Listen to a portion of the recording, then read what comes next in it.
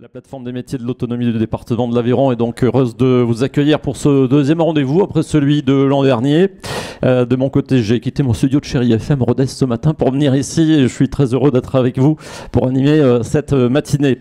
L'objectif est de vous permettre euh, ben, déjà de vous rencontrer, d'échanger sur vos attentes notamment, présenter aussi bien sûr les actions de la plateforme ou encore de vous donner des pistes de réflexion pour développer l'attractivité de vos métiers. On va parler beaucoup de ça euh, d'ailleurs ce matin. Mais avant de vous présenter le programme complet de cette journée, de cette matinée, jusqu'aux alentours de midi 15, je donne d'abord euh, la parole, elle est juste à côté de moi, à Virginie euh, Firmin, conseillère départementale pour l'ouverture officielle donc, de cette matinée. Virginie Firmin qui représente donc le président du conseil départemental Arnaud Viala. C'est à vous. Merci. Alors, mesdames et messieurs, en vos grades et qualités, bonjour. Donc, je suis très, heureuse de vous accueillir aujourd'hui au nom du président Arnaud Viala qui s'excuse de ne pas pouvoir être là pour cette matinée professionnelle de la plateforme des métiers de l'autonomie consacrée au thème des leviers RH pour fidéliser et attirer les salariés. C'est en effet une question au centre des préoccupations de beaucoup d'associations, d'entreprises et d'institutions comme celle du conseil départemental. Parmi les 12 défis du programme départemental, le défi des solidarités humaines tient une place essentielle et importante, et importante pour nous. Le département se veut vecteur de solidarité. Il déploie des politiques volontaristes de lutte contre la précarité, l'isolement et il accompagne les plus fragiles d'entre nous. Dès 2021, le projet départemental s'est déployé autour de trois ambitions fondamentales. Porter un projet qui accompagne chaque Aveyronais dans la proximité de son quotidien et à chaque étape de sa vie. Concevoir des politiques et porter des actions qui ont du sens. Et enfin, innover dans tous les aspects de nos stratégies pour un département tourné vers la modernité. Fort de son rôle de chef de file des solidarités, le département a pour ambition de renforcer ses politiques sociales et d'innover. L'action de la collectivité a pour objectif de lutter contre l'isolement et de préserver l'autonomie des personnes âgées ou des personnes porteuses d'un handicap. Euh, qu'elles résident à domicile ou en établissement et pour leur proposer un parcours de vie et une prise en charge adaptée. Le département met l'accent sur les innovations et les expérimentations avec trois axes principaux. Tout d'abord la prévention et l'anticipation de la perte d'autonomie, l'adaptation de l'offre aux enjeux et aux besoins, et enfin l'amélioration de la qualité de la prise en charge à domicile comme en établissement. Conscient des enjeux économiques, sociaux, mais aussi démographiques de notre département, le Conseil départemental mène des actions en faveur de l'attractivité des métiers de l'autonomie, adaptés à la diversité de notre territoire, majoritairement rural, et aux besoins de la population qui est souvent âgée. Face aux difficultés de recrutement des établissements et des services du secteur social et médico-social pour le secteur et au nombre d'emplois concernés, le département a candidaté à l'appel à projet de la CNSA et du ministère des Solidarités et a, a porté le projet de plateforme des métiers de l'autonomie pour les deux secteurs, domicile et établissement. Ce projet ne peut s'entendre qu'en co-construction avec les partenaires de l'orientation, de l'emploi, de la formation et de l'autonomie du territoire, qui sont l'État, la région, Pôle emploi, les membres du service public de l'emploi, les acteurs de l'insertion, les EHPAD, les SAAD et les gestionnaires de structures pour les personnes en situation de handicap. Le département a pour ambition de fédérer les acteurs avironnés de l'autonomie, de l'orientation, de la formation et de l'insertion pour relever le défi majeur de la valorisation et de la promotion des métiers de l'autonomie. C'est en ce sens et grâce à la synergie de tous nos partenaires, que je remercie, qu'ont été engagées plusieurs actions en 2022 et 2023. L'organisation de la semaine des métiers de l'autonomie et de la matinée professionnelle, c'était il y a à peu près un an la réalisation de vidéos métiers, la mise en place d'une formation action sur la qualité de vie et des conditions de travail qui fait l'objet d'une première table ronde tout à l'heure, l'organisation d'un atelier ressources humaines sur la rédaction d'une offre d'emploi attractive, la mise en place d'opérations d'accompagnement renforcé des personnes les plus éloignées de l'emploi ZEST, la sensibilisation des prescripteurs de l'emploi, les clubs d'insertion, l'action de promotion des métiers de mise en relation employeur-candidat avec France Travail et la région, et enfin la mise en place d'une antenne de groupement d'employeurs pour l'insertion et la qualification d'aide à domicile. C'est ensemble que nous relèverons le défi d'accompagner le bienveillir en Aveyron, à domicile comme en établissement. Je vous remercie pour votre présence aujourd'hui et je vous souhaite de bons travaux constructifs. Merci. Merci beaucoup, Virginie Firmin. Alors on va commencer, le programme, euh, vous voyez, euh, s'affiche, euh, cette matinée donc qui est composée de trois tables rondes, la première sur la qualité de vie et les conditions de travail. Nous aurons des retours d'expérience de trois EHPAD sur la mise en place d'espaces de discussion sur le travail. Cela aussi avec le regard d'ailleurs de deux experts de l'ARACT, l'Agence régionale pour l'amélioration des conditions de travail. Ensuite, deuxième table ronde qui permettra de faire un retour sur les actions de la plateforme des métiers de l'autonomie on parlera notamment de l'opération ZEST, euh, qui permet de développer des passerelles entre vos établissements et les structures de l'insertion. On s'intéressera aussi aux portes ouvertes qui ont été organisées lors de la semaine des métiers de l'autonomie. C'était en novembre dernier. Et puis la dernière table ronde sera l'occasion de découvrir les partenaires, des partenaires, il y en a plusieurs, euh, tels que l'ANAP, l'Agence nationale de la performance sanitaire et médico-sociale, un véritable lieu de ressources, ainsi que la SC2S, ça veut dire Service civique solidarité senior, voilà, qui peut aussi vous aider pour recruter euh, notamment des jeunes dans vos équipes. Évidemment, à la fin de chaque euh, table ronde, il y aura euh, les questions. Alors préparez-les, je compte sur vous. On échangera aussi. Vous pourrez échanger avec les interlocuteurs si vous souhaitez notamment des, précisions ou si vous souhaitez aussi témoigner de votre propre expérience. Et puis on terminera cette matinée par un mot des actions à venir pour la plateforme. Et il y aura bien sûr aux alentours de 12h15, le buffet déjeunatoire, voilà pour terminer euh, autour euh, ce buffet et puis euh, réseauter pourquoi pas.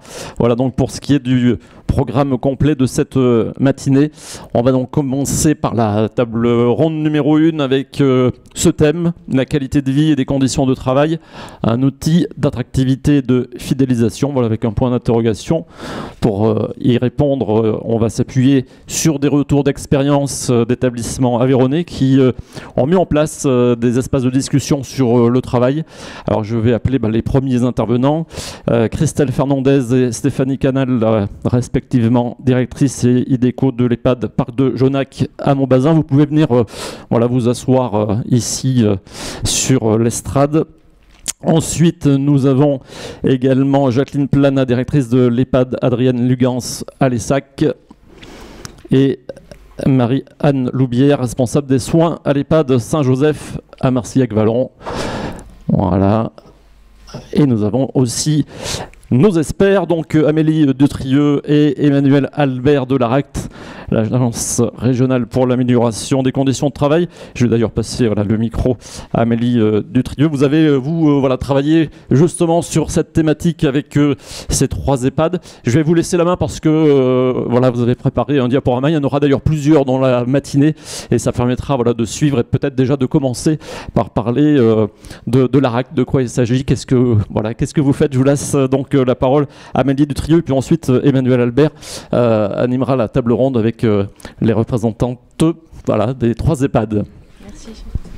Donc bonjour, ça marche? Oui, bonjour à tous. Donc, je suis Amélie Dutrieux, je suis chargée de mission à l'ARACT Occitanie sur le site de Toulouse et je suis venue avec mon collègue Emmanuel Albert, qui est également chargé de mission sur le site de Montpellier pour sa part.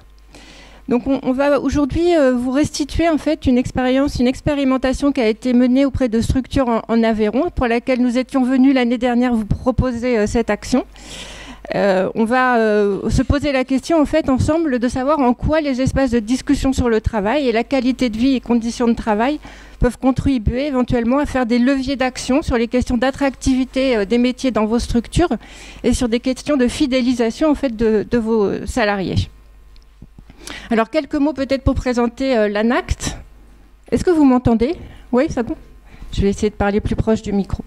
Donc, quelques mots pour euh, vous présenter notre structure. Donc, euh, l'ARACT est en fait une agence régionale dépendante de l'ANACT, qui est un établissement public dont l'objectif est en fait de hisser les conditions de travail vraiment sur la question de l'amélioration de qualité de vie et travailler sur les conditions de travail comme levier de performance pour les entreprises.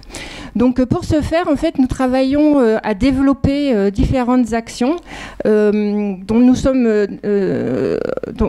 que nous mettons au bénéfice en fait de l'entièreté des structures et sur différents axes. Donc nos champs d'action, c'est les qualités de vie et la condition de travail dont nous allons vous parler aujourd'hui, mais nous en avons d'autres également, touchant à la santé, à la promotion de la santé au travail, touchant à l'accompagnement du changement dans différents types, hein, qu'il s'agisse de changements liés à la mise en place du télétravail, comme ça a été le cas dans certaines structures, ou des, changements d'ordre plus euh, euh, euh, des aménagements, de la mise en place de l'informatique, du numérique ou de l'IA dans les structures qui sont concernées. Euh, et nous venons euh, toujours en appui au dialogue social parce que euh, c'est dans notre ADN, nous sommes un organisme paritaire, c'est-à-dire que nous, sommes, nous travaillons pour l'État et les partenaires sociaux qui composent notre conseil d'administration. Partenaires sociaux, aussi bien des organisations salariales que des, organisations d'employeurs. et, nous plaçons le travail, et on va en discuter ce matin, au cœur de nos interventions et au cœur euh, des problématiques que euh, nous accompagnons avec euh, les structures. Alors pourquoi parler d'espèces de discussion sur le travail? Vous êtes tous dans des situations où vous, savez les problématiques de fidélisation que vous avez et les problématiques d'attractivité dans vos métiers. Et vous savez également que euh, vous, avez différents euh, euh, problèmes en émergence, des risques psychosociaux, des problématiques d'absentéisme, des problématiques de désinsertion professionnelle, des difficultés à maintenir éventuellement les personnes en emploi. Et donc aujourd'hui, discuter du travail est devenu un incontournable. Et c'est pourquoi les espaces de discussion du travail sont au cœur du témoignage que nous allons vous placer aujourd'hui. Elles vont être nourries par des témoignages de structures qui ont participé à l'action que nous avons euh, menée avec elles euh, tout au long euh, des, derniers mois. Et puis nous reviendrons situer finalement la, question des espaces de discussion sur le travail dans les démarches qualité de vie et conditions de travail pour vous replacer en fait le rôle de ces espaces de discussion dans ces démarches. Alors qu'est-ce qu'un espace de discussion sur le travail? Vous avez tous, en fait, et toutes, dans vos structures, plein d'opportunités de discuter, euh, de vous réunir, de parler ensemble.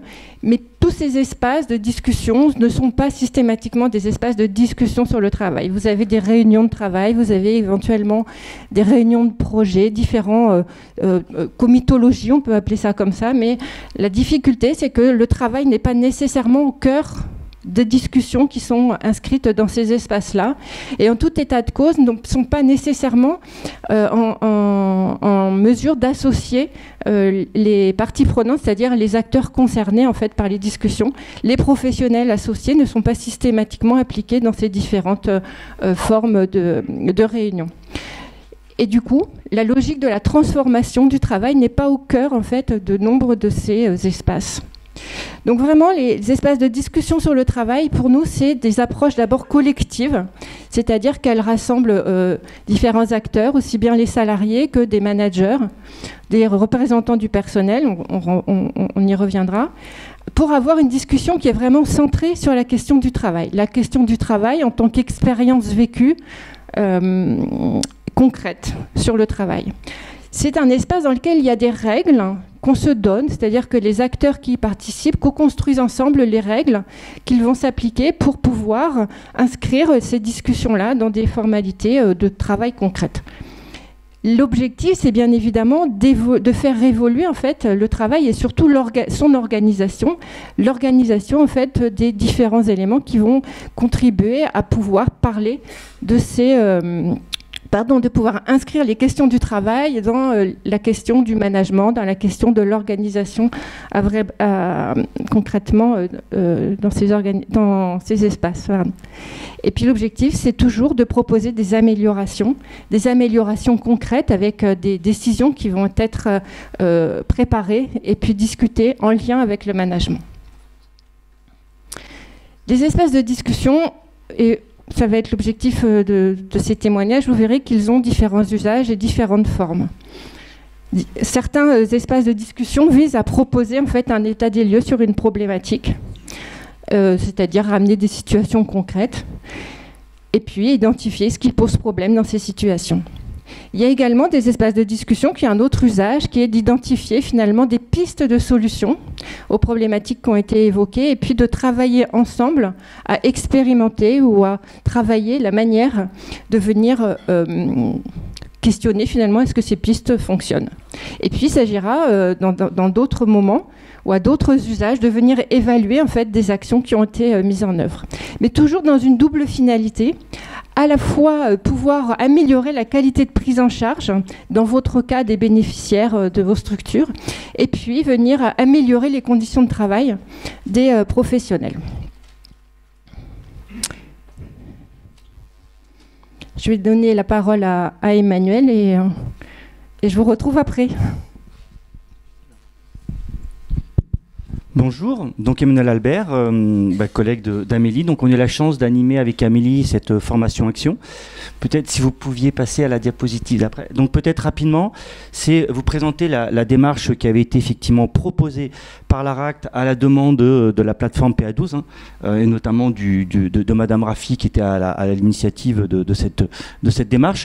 Donc l'idée c'était de proposer une, une action collective, une dynamique collective avec un certain nombre de structures participantes à la démarche, avec euh, comme préambule pour toutes les structures, l'idée c'est quand même de travailler sur euh, la qualité de vie et les conditions de travail. Quand on avait fait un premier tour de table avec les structures, on voyait bien qu'il y avait un objet commun sur lequel elles souhaitaient toutes travailler, c'était entre autres de mieux traiter les problématiques d'attractivité. Et pour elles, pour traiter ces questions d'attractivité, le volet conditions de travail pouvait être un levier favorable justement pour attirer et puis également fidéliser le personnel. Et donc l'idée c'était de pouvoir structurer une action centré sur les expéditions sur le travail. Et donc pour ce faire, on a proposé une action en différents temps. Donc vous avez l'échelle de temps qui est, qui, qui est, en bas, avec on va dire trois temps euh, de, de, de, travail en présentiel où toutes les structures étaient présentes. Un premier temps où on a cadré collectivement l'expédition sur le travail, avec cette idée de dire c'est on crée un espace pour quoi faire. Euh, avec quelle finalité, quel objectif, quelle intention. Cet, cet espace devait rentrer également dans une démarche plus globale, un deuxième temps, c'était ensuite de donner des outils pour que les personnes puissent animer les expéditions sur le travail. Alors Amélie a beaucoup insisté. L'idée, c'est des espaces où on parle travail. Et donc, c'était de, pouvoir donner des outils pour permettre, pour favoriser l'appropriation, pour, favoriser l'expression des échanges autour de, des questions du travail. Euh, et ensuite, il y avait un troisième temps euh, en, présentiel où on a eu des retours d'expérience. Euh, et puis, on a fait le, support de capitalisation qui vous a été distribué au départ. Évidemment, l'idée, comme on est sur une action collective, une formation-action, il y avait des temps d'intercession où les structures, elles mettaient en œuvre ce qu'elles avaient appris euh, au cours effectivement euh, des intercessions et on a prévu des temps en visio justement avec elles pour pouvoir euh, retravailler, les recadrer si besoin, les appuyer, les aider, etc. Et donc cette démarche, comme vous le voyez, elle a duré sur quatre mois. L'idée c'était de pouvoir faire rapidement les choses pour montrer que créant un peu de discussion, on peut rapidement aller vers de l'action. Donc peut-être là, l'idée, c'est au-delà euh, de, ce qui a été présenté par Amélie sur la philosophie des expéditions sur le travail, l'idée, c'était de faire pouvoir euh, témoigner eh ben, des acteurs qui ont animé des espaces de discussion sur le travail et évidemment des acteurs d'entreprise.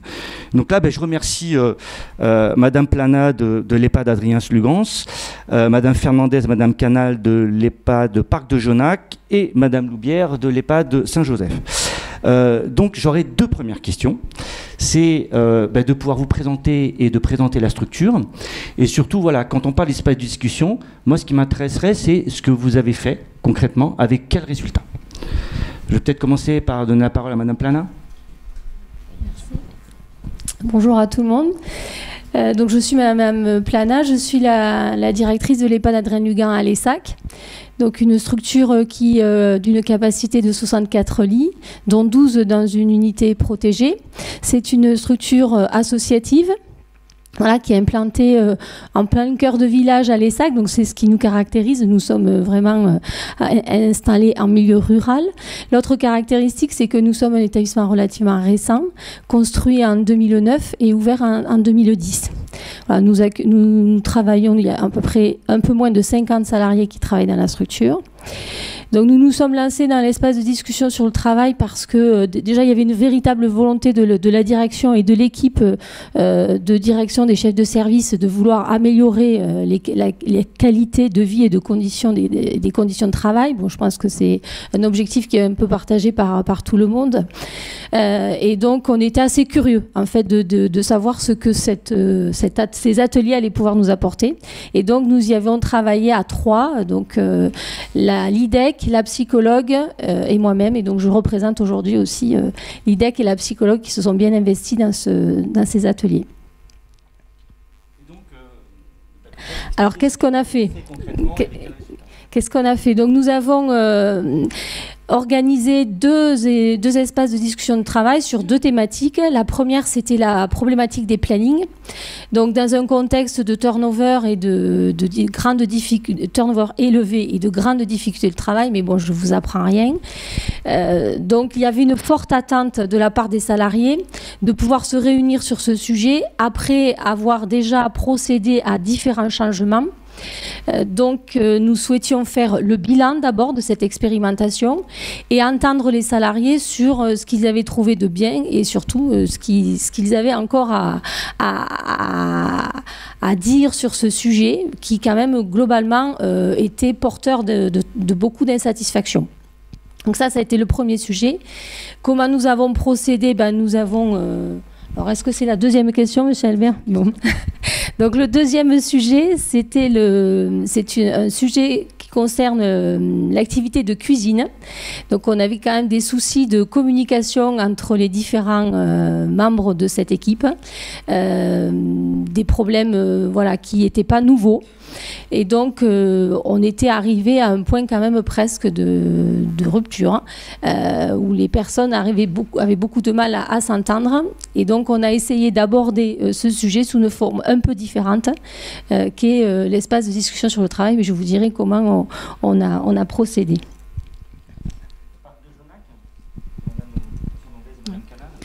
Oui, bonjour à tous. Donc, je suis euh, Madame Fernandez, donc directrice donc de l'EHPAD Parc de Jonac à Montbazin, euh, dont une capacité de 64 euh, résidents et 40 à peu près ETP. Euh, pareil, euh, comme les sacs, euh, un EHPAD situé au cœur du village, donc très rural, où on a eu pendant quelques années, et encore à l'heure actuelle, de problèmes de recrutement. nous avons participé en 2022, on a fait un appel à candidature pour une QVCT qui a été très bien accueilli par le personnel présent cette année-là. Et donc, on s'est présenté en 2023 donc euh, cette démarche-là. Euh, j'ai de nouveau répondu présente. Et quand je suis venue à la première réunion, je me suis aperçue voilà, que en fait, ces espaces de discussion, c'était la continuité euh, de la QICT, mais que je devais inclure donc mes responsables de service.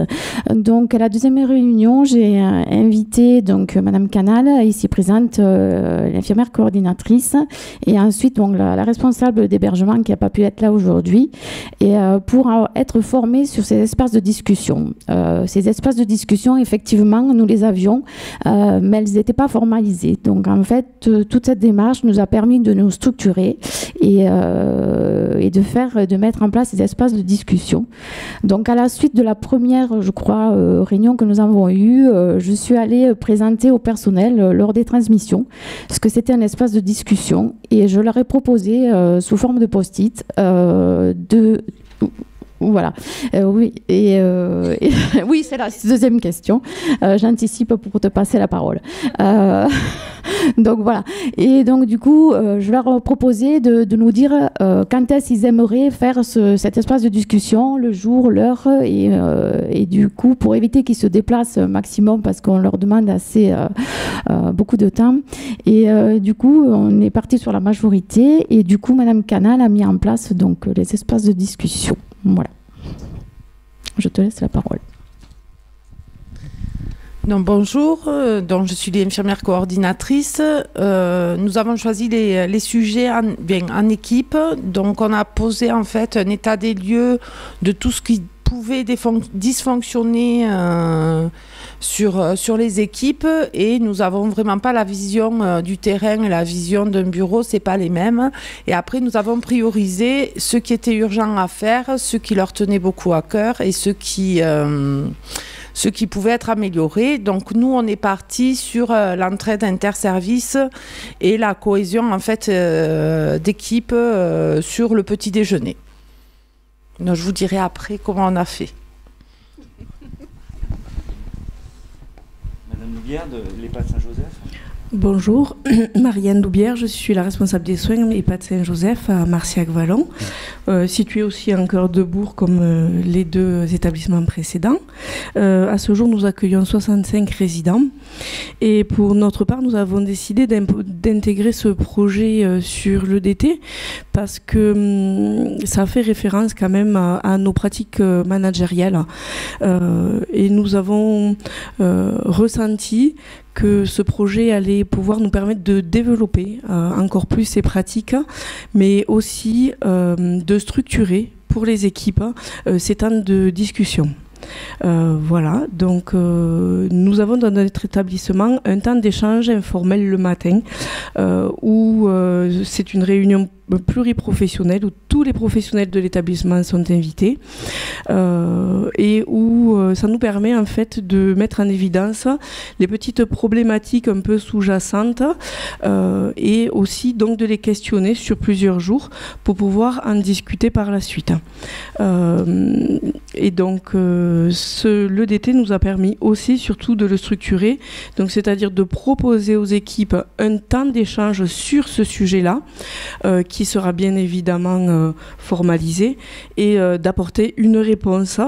Euh, alors c'est pas nous qui apportons forcément la réponse puisqu'on est vraiment autour d'une discussion, autour d'un échange pluriprofessionnel en fonction de leurs attentes.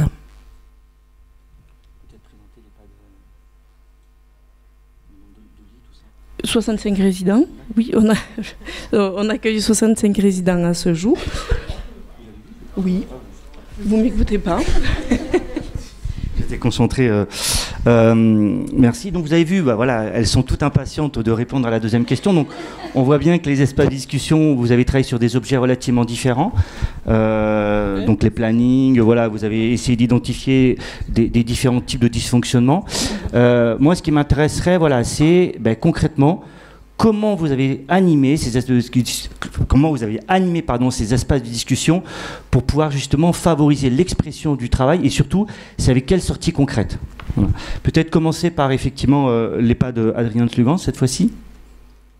Euh, pardon les pas de Parc de Jonac c'était pour vous troubler. Euh, alors nous, on est parti donc on est parti suite à une réunion d'équipe où on est resté une demi-heure de plus euh, pour parler des problématiques euh, rencontrées par les équipes. Donc on s'est servi de plein de, petits outils que nous ont donné, pendant les, ateliers. Donc on s'est servi des post-it, des jeux de cartes, l'essentiel de la QVCT.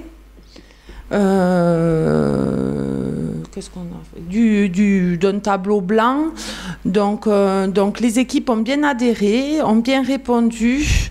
Et ça leur, ça leur a vraiment plu parce que c'est vraiment euh, une discussion. Donc après, il fallait trouver un animateur un observateur et pour faire le compte rendu. Donc euh, l'animateur, euh, pour l'instant, ça a toujours été moi qui avait été formé. Donc là, je suis en train de former, de montrer aux, euh, autres membres de l'équipe parce que ils trouvent que l'équipe trouvait que la direction abandonnait le, ils étaient abandonnés par moi. Donc donc voilà, donc j'étais pas assez présente sur le terrain.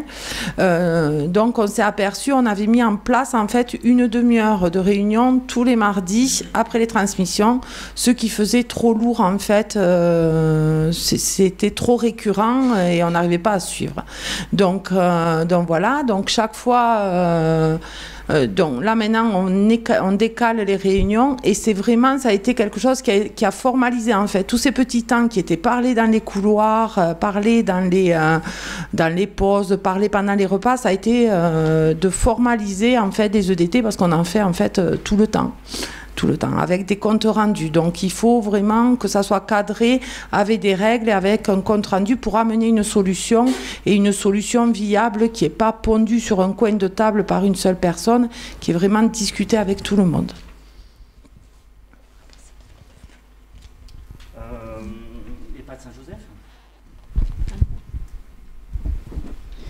Oui, alors c'est pour notre part euh, le, les deux grands sujets qui ont été abordés euh, pour nos EDT, c'était évidemment les organisations de travail.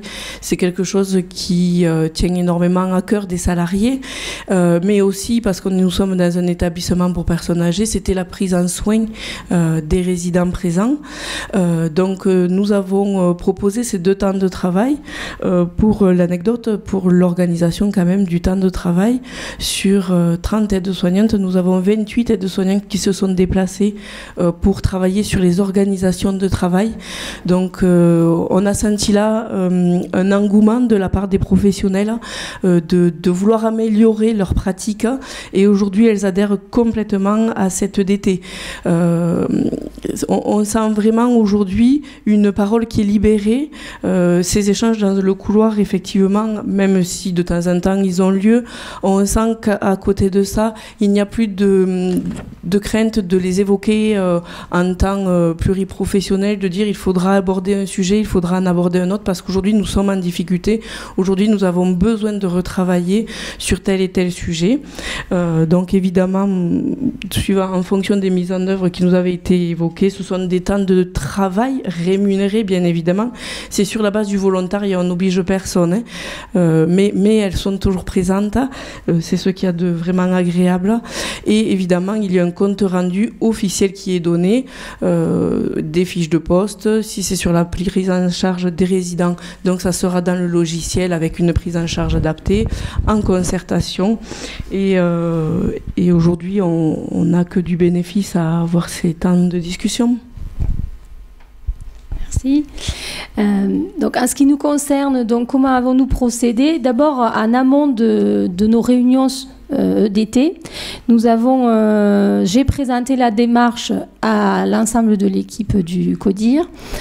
Donc tout le monde y a adhéré très vite. Hein. on, a, on a parcouru un peu le programme. On y a vu tous un intérêt. Et ensuite, nous l'avons présenté aux équipes en transmission. Je vous l'aviez évoqué aussi euh, euh, pour vos, équipes. Donc ça, ça a été important. Leur a annoncé que nous nous lancions dans cette démarche et que très vite, on la mettra en application sur le sujet des plannings. Donc comme ils étaient en attente, ça a maintenu un peu le suspense et euh, ça a permis aux uns et aux autres voilà, de commencer à, à adhérer euh, à, la démarche. Ensuite, donc concrètement, nous avons organisé cette DT. Euh, d'abord, euh, nous nous y sommes préparés à trois. l'IDEC, la psychologue et moi-même. Donc ce temps de préparation a été particulièrement important parce qu'il nous a permis de dresser le cadre. alors qu'on pourrait se dire des discussions sur les plannings, on en a plein. Il y en a d'ailleurs beaucoup dans les couloirs. Euh, et finalement, on s'est dit, mais quel est notre objectif? Euh, Et ce temps de préparation donc, a été vraiment essentiel parce qu'il nous a permis de bien définir nos attentes. Euh, et ensuite, donc, a eu lieu le DT. Dans un premier temps, on leur a présenté comment on allait fonctionner. On leur a aussi présenté un récapitulatif de tout ce qui avait été fait sur ce sujet ce qui a permis de, de, ressouder un petit peu l'équipe parce que certains avaient, oublié l'étape B, l'autre l'étape C. Alors bon, voilà. Donc, euh, sauf que la vie, euh, c'est un ensemble d'événements qui s'enchaînent, et donc c'était important de leur rappeler comment tout, euh, tout ce qui avait été fait s'était construit. Et donc, et de partir sur des bases communes. Voilà. Et ensuite, donc, nous avons utilisé la technique des post-it qui a été, euh, alors c'est une technique pourtant euh, simple, hein, mais euh, qui a été très très efficace. D'abord parce que moi je trouve qu'elle elle permet d'avoir ce temps de silence. Voilà, tout le monde se pose et doit remplir des post-it. Et là, il n'y a pas des discussions qui partent dans tous les sens. non, mais de toute façon, ça sert à rien. C'est bon, on a déjà discuté. Non, mais bon. donc, on, est, on oblige en fait chacun à se poser et à, à réfléchir. Et, finalement, euh, je crois que ça a été apprécié par tous, vraiment. je vous parlerai en conclusion de l'expérience avec l'équipe de cuisine, mais ça a été aussi un révélateur assez oui, qui, a, qui, a, bien démontré l'intérêt de cette technique. Hein. Voilà. Donc nous, on n'a pas encore mis en place des, réunions, une récurrence, euh, mais euh, on sait que si on veut être efficace, euh, il faut qu'on passe par, ces étapes-là et l'organiser de cette façon-là. On, a vu que ça fonctionnait. Voilà. Donc on a vu à un moment donné voilà, les objets sur lesquels vous avez travaillé quand vous avez mis en place vos DT, vous avez expliqué comment vous avez fait. Maintenant, on est en juillet. L'action a commencé euh, grosso modo en septembre. Peut-être avec le recul aujourd'hui, euh, moi j'aurais une question peut-être simple à vous poser, c'est en quoi pour vous l'EDT est utile euh, dans, vos organisations? Et moi, ce qui m'intéresserait, c'est est-ce que vous arrivez dans les EDT à, bien concilier qualité, de vie au travail, conditions de travail et qualité de prise en charge, etc. Donc peut-être commencer par l'EHPAD Saint-Joseph, Madame Loubière? Oui, bien sûr. Euh, alors euh, aujourd'hui, ce qu'on peut noter au sein de l'établissement, euh, c'est réellement une fluidité dans les organisations. Hum, nous, l'EDT nous a permis de, de, mettre en place beaucoup de groupes ad hoc qui étaient des demandes et des attentes des salariés. dans les groupes ad hoc, j'entends divers, divers thèmes, tout ce qui peut être pour les soignants, contention, enfin voilà, beaucoup de choses, l'évaluation euh, des GIR, euh, voilà, dans lesquels finalement on voit aujourd'hui un intérêt gradissant de la part du salarié de s'investir. Donc aujourd'hui nous avons mis en place beaucoup, beaucoup de groupes ad hoc euh, et aujourd'hui les salariés se sentent tous très impliqués. cette fluidité, on la ressent dans les pratiques, on la ressent dans la sérénité dans l'établissement. hier nous avons eu une venue et on nous a dit votre établissement est tellement serein. On, aujourd'hui que ces discussions euh, permettent vraiment d'homogénéiser nos pratiques hein, euh, et, de trouver de la fluidité. Euh, aujourd'hui, nous avons un taux de rotation qui est très très faible au niveau du personnel, très peu d'arrêts maladie. alors pour ces six arrêts maladie bénins et juste un arrêt maladie sur un malaise de 10 jours sur l'année. Euh, donc aujourd'hui, on sent qu'au niveau du personnel, ça porte vraiment ses fruits. Euh, on sent aussi euh, au niveau des salariés une volonté d'interagir encore plus avec le résident, avec la mise en œuvre d'actions recapacitantes pour leur permettre de retrouver de l'autonomie, des activités. on a une prise en charge qui s'est vraiment individualisée auprès du résident, avec un questionnement récurrent de la part des soignants dans une volonté de mieux faire. Et on voit aussi pour beaucoup de résidents aujourd'hui une évolution très très bénéfique. Euh, ce que ça nous apporte aussi, c'est le fait que les résidents ont pris confiance, mais les familles aussi. Euh, nous avons quasiment plus d'appels de famille. Euh, parce qu'ils ont des problématiques de prise en charge, parce qu'ils sont inquiets, parce que euh, ça va pas. On en a quasiment plus. Euh, les médecins, on, ressent vraiment une confiance de leur part aussi, euh, parce qu'aujourd'hui, la réponse que l'on donne grâce à l'EDT, c'est une réponse unanime. que vous alliez voir au troisième étage ou au premier, la réponse qui sera donnée, ça sera la même. Et d'avoir cette ligne de conduite tous identiques, ça permet quand même de rassurer énormément euh, tous les acteurs qui peuvent intervenir dans l'établissement. Euh, Madame Enfin, il pas pardon. Euh, donc, en conclusion, moi, je, dirais que au départ, si vous voulez, pour moi, je m'étais dit, organiser un EDT, c'est euh, maîtriser les techniques d'animation d'une réunion. Et je me suis rendu compte que c'était bien plus que ça. Pourquoi? Parce que l'EDT, il nous oblige à créer un cadre. C'est vraiment important. Et à l'intérieur de ce cadre, il permet à chacun de s'exprimer et surtout de rester centré sur le travail. Euh, c'est, je pense, que ce qui nous manquait euh, peut-être euh, avant. Et donc, je, prends l'exemple, je vous avais dit, de, l'EDT sur la cuisine. On a fait cette EDT dans un contexte vraiment très tendu. Euh, je pense que les salariés y croyaient pas, se sont dit bon ben on se réunit et on va encore, euh, voilà, ça va finir peut-être un peu en polémique, on va rester bloqué sur euh, des des généralités, des insatisfactions, et très vite, hein, dès que le cadre a été posé et qu'on s'est lancé dans les post-it, voilà, ça a été, euh, il y a eu un changement euh, euh, radical. Tout le monde est rentré dans une, posture plus constructive, plus positive, et les salariés eux-mêmes, je crois, n'ont pas bien compris pourquoi ça, avait fonctionné cette fois-ci. Bon, après on a débriefé, on a fait un compte rendu, chacun a pu s'exprimer, mais vraiment ça a été apprécié. Donc pour moi, ce qui est important, voilà, c'est d'arriver à poser ce cadre et de permettre à chacun de rester centré sur le travail.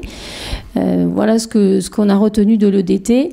Et concernant les plannings, euh, je dois dire que depuis qu'on a fait ces, ces réunions, on n'a plus du tout euh, les mêmes discussions sur ce sujet, alors que ça reste quand même un sujet qui, n'est pas complètement abouti. Euh, on a toujours une forme d'insatisfaction, mais elle n'est plus exprimée de la même façon. Voilà, on sait, euh, comme vous l'avez dit, se retrouver ensemble pour le pour, pour, exprimer ça et pas euh, dans les couloirs, chacun sa version. Voilà. Donc, euh, je crois que les salariés ont compris l'utilité de se retrouver dans, dans un tel euh, espace de discussion ils ont compris que ça, ça pouvait le, leur être utile. Voilà.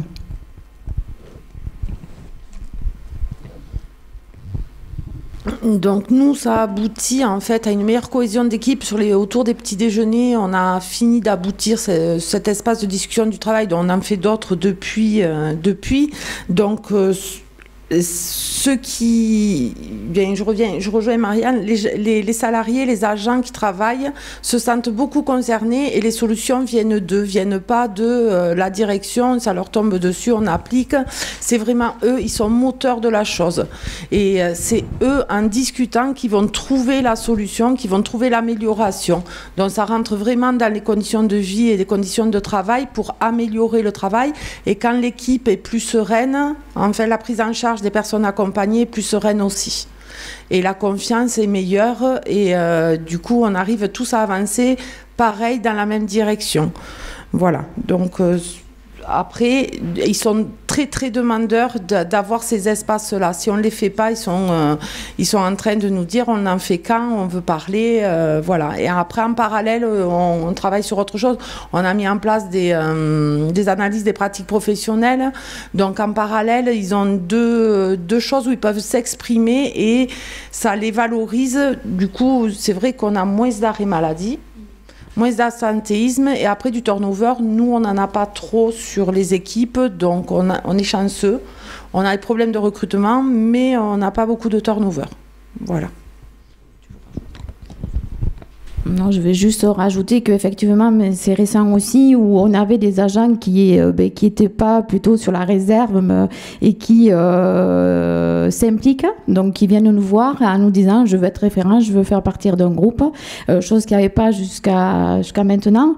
Euh, il y avait quand même des volontaires puisque chaque fois ça était toujours sur euh, forme de volontariat et on a les agents euh, qui ont été accompagnés justement par ça les EDT où ils viennent nous voir et ils veulent plus qu'on y assiste. Donc euh, c'est eux-mêmes qui demandent ce temps de, discussion.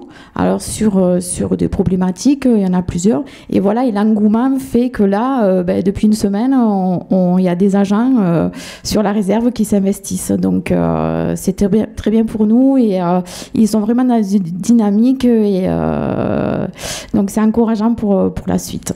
Voilà. N'hésitez pas si vous avez des questions sur ce qui a été dit, euh, peut-être euh, chez vous si vous avez peut-être essayé de mettre ça en place, comment ça s'est passé.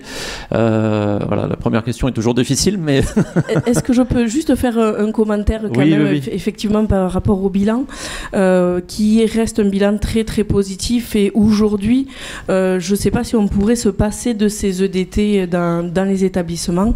cependant, je, je veux quand même signaler que ça reste quelque chose de très lourd à mettre en place. Euh, je pense que vous, vous avez le même constat que nous. C'est euh, du temps de travail euh, rémunéré pour les salariés qui reste sur du temps personnel. Pour l'établissement, nous aujourd'hui, entre les groupes ad hoc et les EDT, on est quand même à 57 réunions. C'est très très lourd. C'est elle le demande. Ça fait 488 heures de travail en présentiel supplémentaire pour les établissements. Même pour moi, la responsable des soins, c'est-à-dire que pas tous les jours, mais très régulièrement, je sais qu'il faut que je travaille sur un sujet qui va venir euh, en complément de la journée de travail euh, à leur proposer. Euh, voilà. Donc, même si c'est vraiment très très bien et aujourd'hui non, on ne peut pas s'en passer, ça reste quand même quelque chose de très très lourd. Voilà. Est-ce que vous avez des, questions, des précisions à demander, que ce soit au niveau de la RAC, tout au niveau euh, des EHPAD présents Alors, je vais vous passer le micro, présentez-vous et puis posez votre, question. Bonjour, Youn Gassab, directeur à l'ENM du lac à, à. Euh, simplement, moi, je suis assez surpris, euh, comme ça, c'est spontanément, de la terminologie de espace de discussion, dans le sens où c'est quand même quelque chose d'assez cadré, avec des horaires, un animateur, un compte rendu. Donc, en quoi ça se distingue du- d'un temps de réunion, avec un ordre du jour et une thématique bien spécifique Merci, je ne sais pas qui veut répondre. euh. Allez-y. C'est c'est un peu ce que je vous disais tout à l'heure. Au départ, moi, je me disais, c'est voilà, c'est une, une réunion, une réunion de travail avec un ordre du jour, comme vous dites. Mais en fait, il y a vraiment ce temps de, de- de préparation. Alors, je ne sais pas comment vous prépariez les réunions, mais nous, c'était un peu, on a un sujet, on se réunit, on se regroupe, on fixe une heure, euh, voilà. Et, on discute. Euh, alors que là, dès le départ, on fixe le, cadre euh, et on reste centré sur le travail. C'est. Je sais pas comment vous l'expliquer, mais je pense que c'est les outils aussi qui nous ont permis de faire la différence. Moi, je vois les post-it, ça a été mais immédiat. La, di- la polémique, on entrait en réunion, on commençait à entendre ce qu'on entendait régulièrement. euh, Ouais, c'est bon, mais tu vas, toi bref. Euh, et en fait, euh, dès qu'on a, dit, bon ben voilà, on va fonctionner comme ça, donc déjà ils ont été surpris de voir qu'on était assez directif dans la manière dont on allait ab- aborder cette discussion. Et ensuite, ce silence dont je vous parlais, ça a mis tout le monde, ça a obligé tout le monde à réfléchir. Euh, et on leur a dit, voilà, il y a, vous mettez quatre post-it de ce qui va bien, quatre post-it de ce qui va pas bien. Alors, il y en a déjà, il y en a qui ont commencé à dire, mais non, nous, les, bon, les, les, ce qui va bien, il n'y en aura pas, Madame Plana. Bah, j'ai si, il, va, il va falloir qu'il y en ait parce que c'est la règle. Euh, mais c'est pas possible. Euh, ben, si, alors après, bon, il y a une discussion qui est. on- je leur ai dit, mais si on en est là, il y a des choses qui fonctionnent. La preuve, c'est que l'activité tourne. Donc, c'est qu'il y a des choses qui vont bien. Donc, notez-les. Euh, oui, bah non, bah, bah, si, j'ai dit vous êtes une équipe. Oui, on est une équipe. Mais déjà, ça c'est bien de se dire qu'on est une équipe. Enfin, voyez, j'ai essayé de les amener. Et au final, bah, tout le monde a joué le jeu. Et on avait autant de post-it de ce qui allait bien que de ce qui allait pas bien. Et je pense qu'avec une réunion plus classique, euh, je- moi, je ne serais pas arrivée.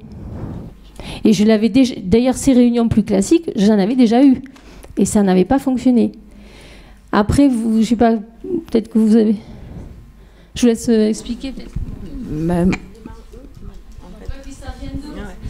En fait, ils se sentent, euh, par rapport à une réunion, elle est euh, souvent imposée, c'est tel jour, telle heure, on va parler de ça, ça, ça et ça, que là, vraiment, c'est un espace où tout le monde, où la parole se libère, il n'y a pas de jugement, on pose des règles, donc pas de jugement, euh, la confidentialité, ça va durer tant de temps, ils savent où ils vont et ils savent qu'ils vont pouvoir parler sur une problématique particulière. C'est pour ça qu'il faut en faire plusieurs. Et c'est le problème vient d'eux et la solution vient d'eux en discutant. Voilà, nous, les encadrants, on est vraiment là pour faire. Alors, par exemple, je vais prendre l'histoire des plannings, respecter la loi du travail. C'est facile quand on est salarié ou agent en disant elle me fait travailler comme ça, elle n'a pas droit, euh, moi j'ai entendu ça. Non, il y a des lois. Il y a des lois et donc nous, on est vraiment là pour faire appliquer ben, la loi du travail, pour dire non, ça c'est hors cadre, on ne peut pas. euh, voilà, on est vraiment pour rappeler les lois. Mais après, c'est différent d'une réunion parce c'est vraiment eux les acteurs. On est vraiment tous acteurs là-dedans. Est-ce qu'il y a une autre question? Alors du coup, honneur aux dames. Je reviens vers vous juste après. Allez-y, présentez-vous et posez votre question. Oui, bonjour, je suis Pascal Roch, je suis vice-présidente à l'association intermédiaire AZAC, mais là, je n'interviens pas pour ça. J'avais une question, je voulais savoir si la démarche EDT e pouvait s'appliquer pour un personnel intérimaire, sachant que peut-être ils se sentent moins concernés.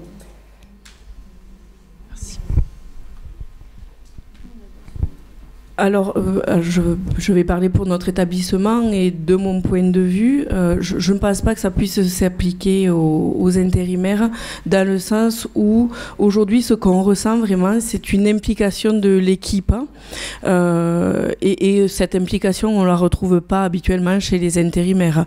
on ressent vraiment dans les équipes cette volonté d'améliorer leur quotidien. C'est vraiment ce qu'on a ressenti.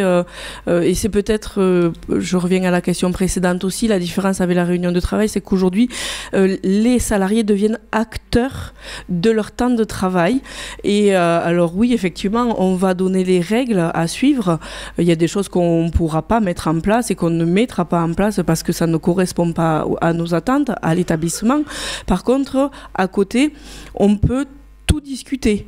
Et aujourd'hui, je pense que de ce fait, l'intérim ne correspond pas à, alors euh, voilà, après il y a des intérimaires euh, qui sont euh, de fait positionnés dans des établissements. Aujourd'hui, ça se fait beaucoup. Elles interviennent à, un CDI intérimaire dans des établissements. On n'est peut-être pas dans la même dynamique de ce fait, mais, mais sinon, non, l'implication n'est quand même pas la même aujourd'hui chez les intérimaires qui viennent, qui font une journée de travail et qui s'en vont. Merci. On a une autre question, les C'était ma question. Ah, c'était votre question. Bon, une pierre de coups. Est-ce que vous avez d'autres questions aussi? Hop, on revient à vous.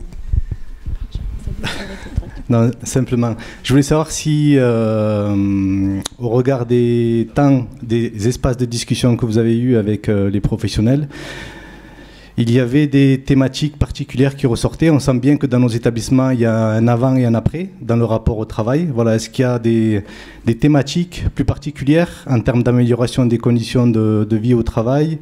Euh, Je pense euh, à l'impact et les répercussions du coût de la vie. Euh, nos organisations, nos établissements qui pour la plupart sont ouverts 365 jours sur 365.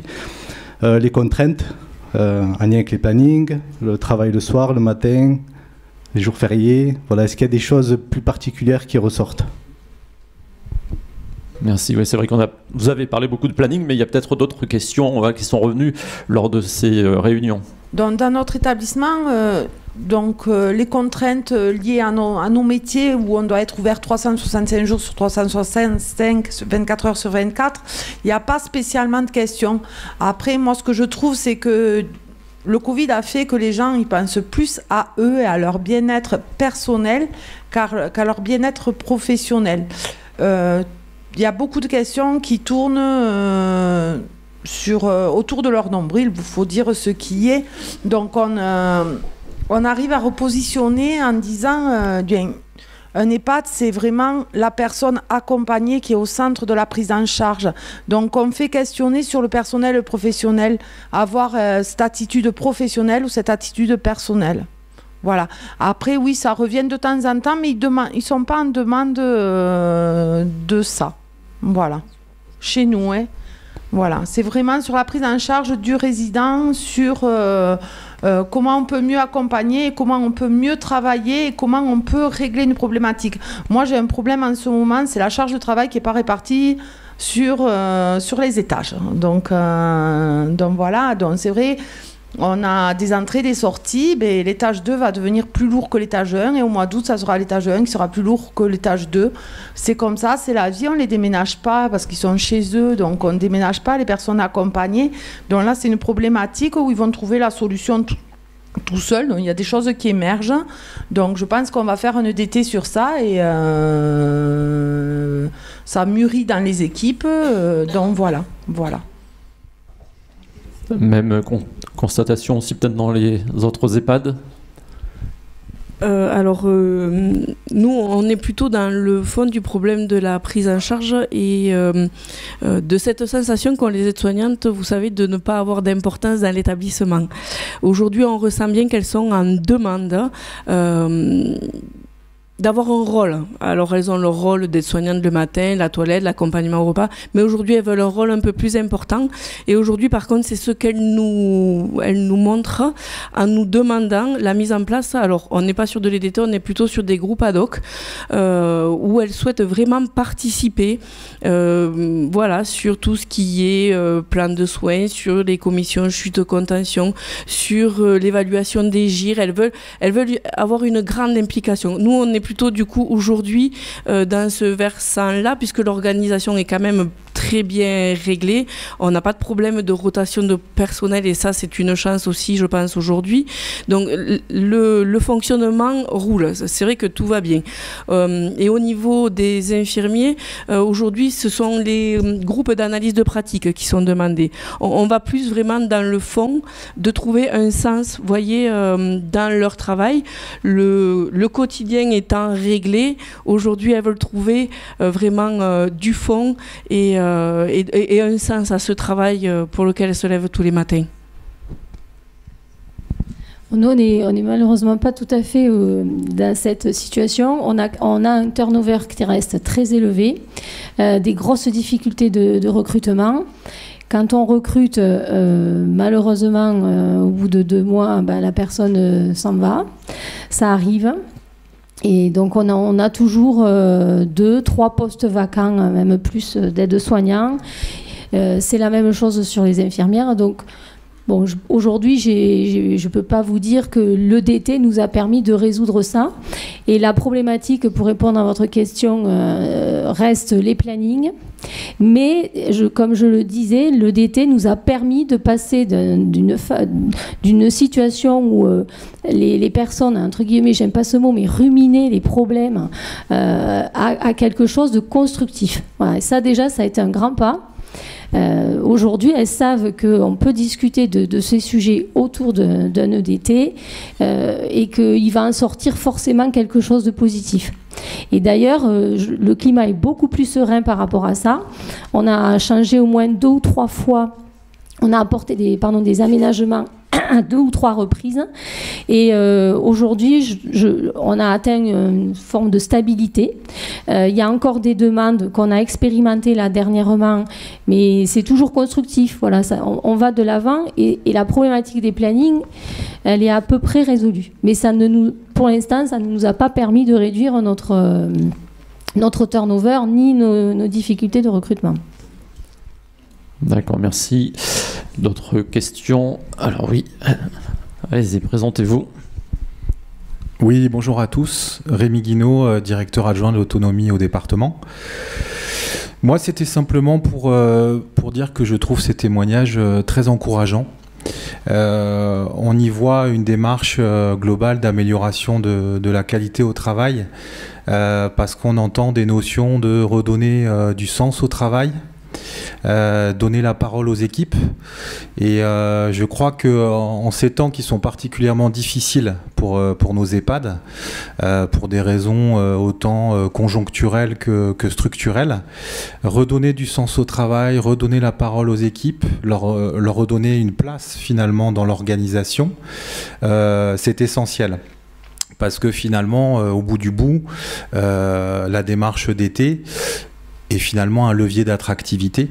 Et on sait qu'aujourd'hui, euh, les EHPAD ont vraiment besoin d'améliorer euh, cette, attractivité. On entend très concrètement des, indicateurs parlants, euh, réduction de l'absentéisme, limitation du turnover, autant d'indicateurs qui finalement vont permettre à un établissement peut-être d'attirer un peu plus de monde, de fidéliser un peu plus les, salariés et, finalement de continuer à essayer de, bâtir euh, une culture euh, commune. Hein, on entend parler que bah, finalement on a euh, le même discours, la même réponse finalement, quel que soit l'étage, au rez-de-chaussée, au deuxième étage.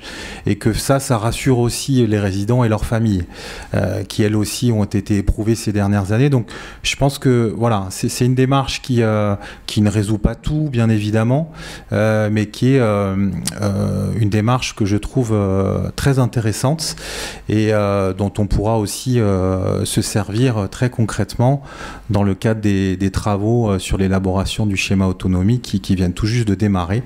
Et évidemment que le sujet, euh, le sujet RH et attractivité euh, sera une question à, discuter euh, avec tous nos partenaires. Voilà. Merci.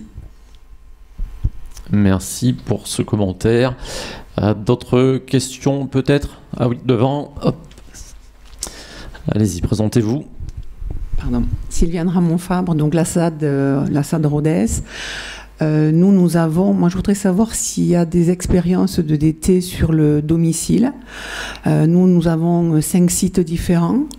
Euh, sur le site de Rodez, sur le service d'aide et d'accompagnement à domicile, il y a 80 salariés. Nous, nous, avons le même, la même configuration sur le bassin de Casseville.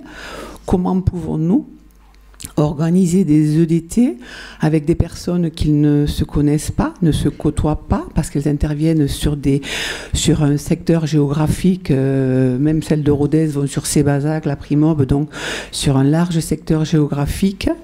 Euh, alors autant j'entends, euh, pour avoir eu une expérience de directeur d'EHPAD, les témoignages que nous avons entendus ce matin, mais sur le domicile, ça je, ne sais pas s'il y a une autre association euh, euh, du domicile qui les a déjà mises en place et comment on peut procéder pour être dans la pertinence et, effectivement apporter une valeur ajoutée aux conditions de vie euh, et la qualité de vie aux conditions de travail.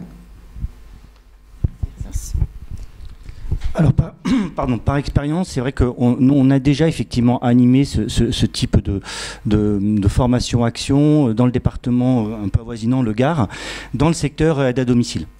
Voilà, où effectivement, il y avait une grosse problématique, c'était justement les professionnels se plaignaient d'isolement. Et le DT a permis, entre autres, de les, réunir et de pouvoir parler des objets de travail collectivement. Donc ça a permis de rediscuter des règles un peu de fonctionnement collectif, de, reparler du sens. Voilà. Alors par contre, comment ça a été fait? Le plus, difficile, c'était à un moment donné de, trouver le bon espace-temps. C'est-à-dire que c'était à la fois un lieu extérieur au travail, euh, et puis euh, à quel moment? Parce qu'elles avaient toutes des horaires différents mais les structures ont réussi euh, à, programmer des temps de réunion. Alors, c'est vrai qu'il n'y a pas eu trop les exemples là, mais globalement, dans les structures, alors c'était très hétérogène, c'est-à-dire qu'il faut partir du principe qu'un EDT, c'est une démarche qui est adaptée à vos organisations qui est adaptée à votre structure. Et dans les structures qu'on avait accompagnées, les espaces de sur le travail, ça allait de 1 heure à 3 heures. Voilà, et elles elle, elle programmaient des espaces de temps comme ça. Après, pour répondre à une question sur euh, différence entre réunion et DT, je, dirais c'est une question un peu sémantique, c'est-à-dire que globalement, le DT, c'est, euh, on va dire, le, support euh, d'une démarche QVCT, qualité de vie et des conditions de travail. Et c'est les partenaires sociaux qui ont dit, dans nos, nos, institutions, dans nos entreprises, il y a plein d'espaces-temps où on se parle qu'on va appeler des réunions, etc. Mais est-ce qu'on parle pour autant du travail tel que l'EDT le pense, le structure C'est pas aussi sûr que ça. Et la philosophie de l'EDT, justement, c'est vraiment de se concentrer sur le travail et de discuter collectivement avec tout un tas de systèmes d'acteurs, avec une finalité importante, c'est l'action. C'est-à-dire qu'à un moment donné, plus d'une fois, les gens permettent d'exprimer des difficultés qu'ils rencontrent. L'idée de l'EDT, c'est pas que de récupérer l'expression, c'est de proposer des actions. Et donc c'est ça le DT, c'est que ça vise l'action, et donc il y a tout un tas de propositions d'action qui émergent dans ces groupes-là. Alors c'est pas les gens dans les ET qui décident, c'est évidemment la direction qui décide, mais pour autant il y a tout un tas de propositions intelligentes qui, en émanent, et c'est après la direction qui, qui, voit si elle peut les mettre en œuvre ou pas en œuvre. Est-ce qu'il y a d'autres questions? Oui.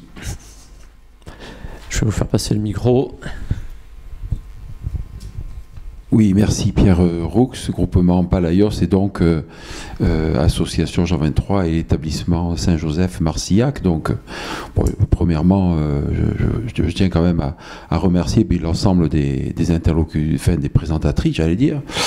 Euh, parce que tout ce qui a été dit va dans le sens d'un travail mieux accompli grâce à la prise en compte ben, des compétences et à l'activation finalement de l'intelligence collective au sein de chaque établissement et puis de l'engagement auprès de, nos aînés. Euh, je voudrais quand même attirer l'attention sur une, perspective que nous recherchons tous. Nous savons aujourd'hui que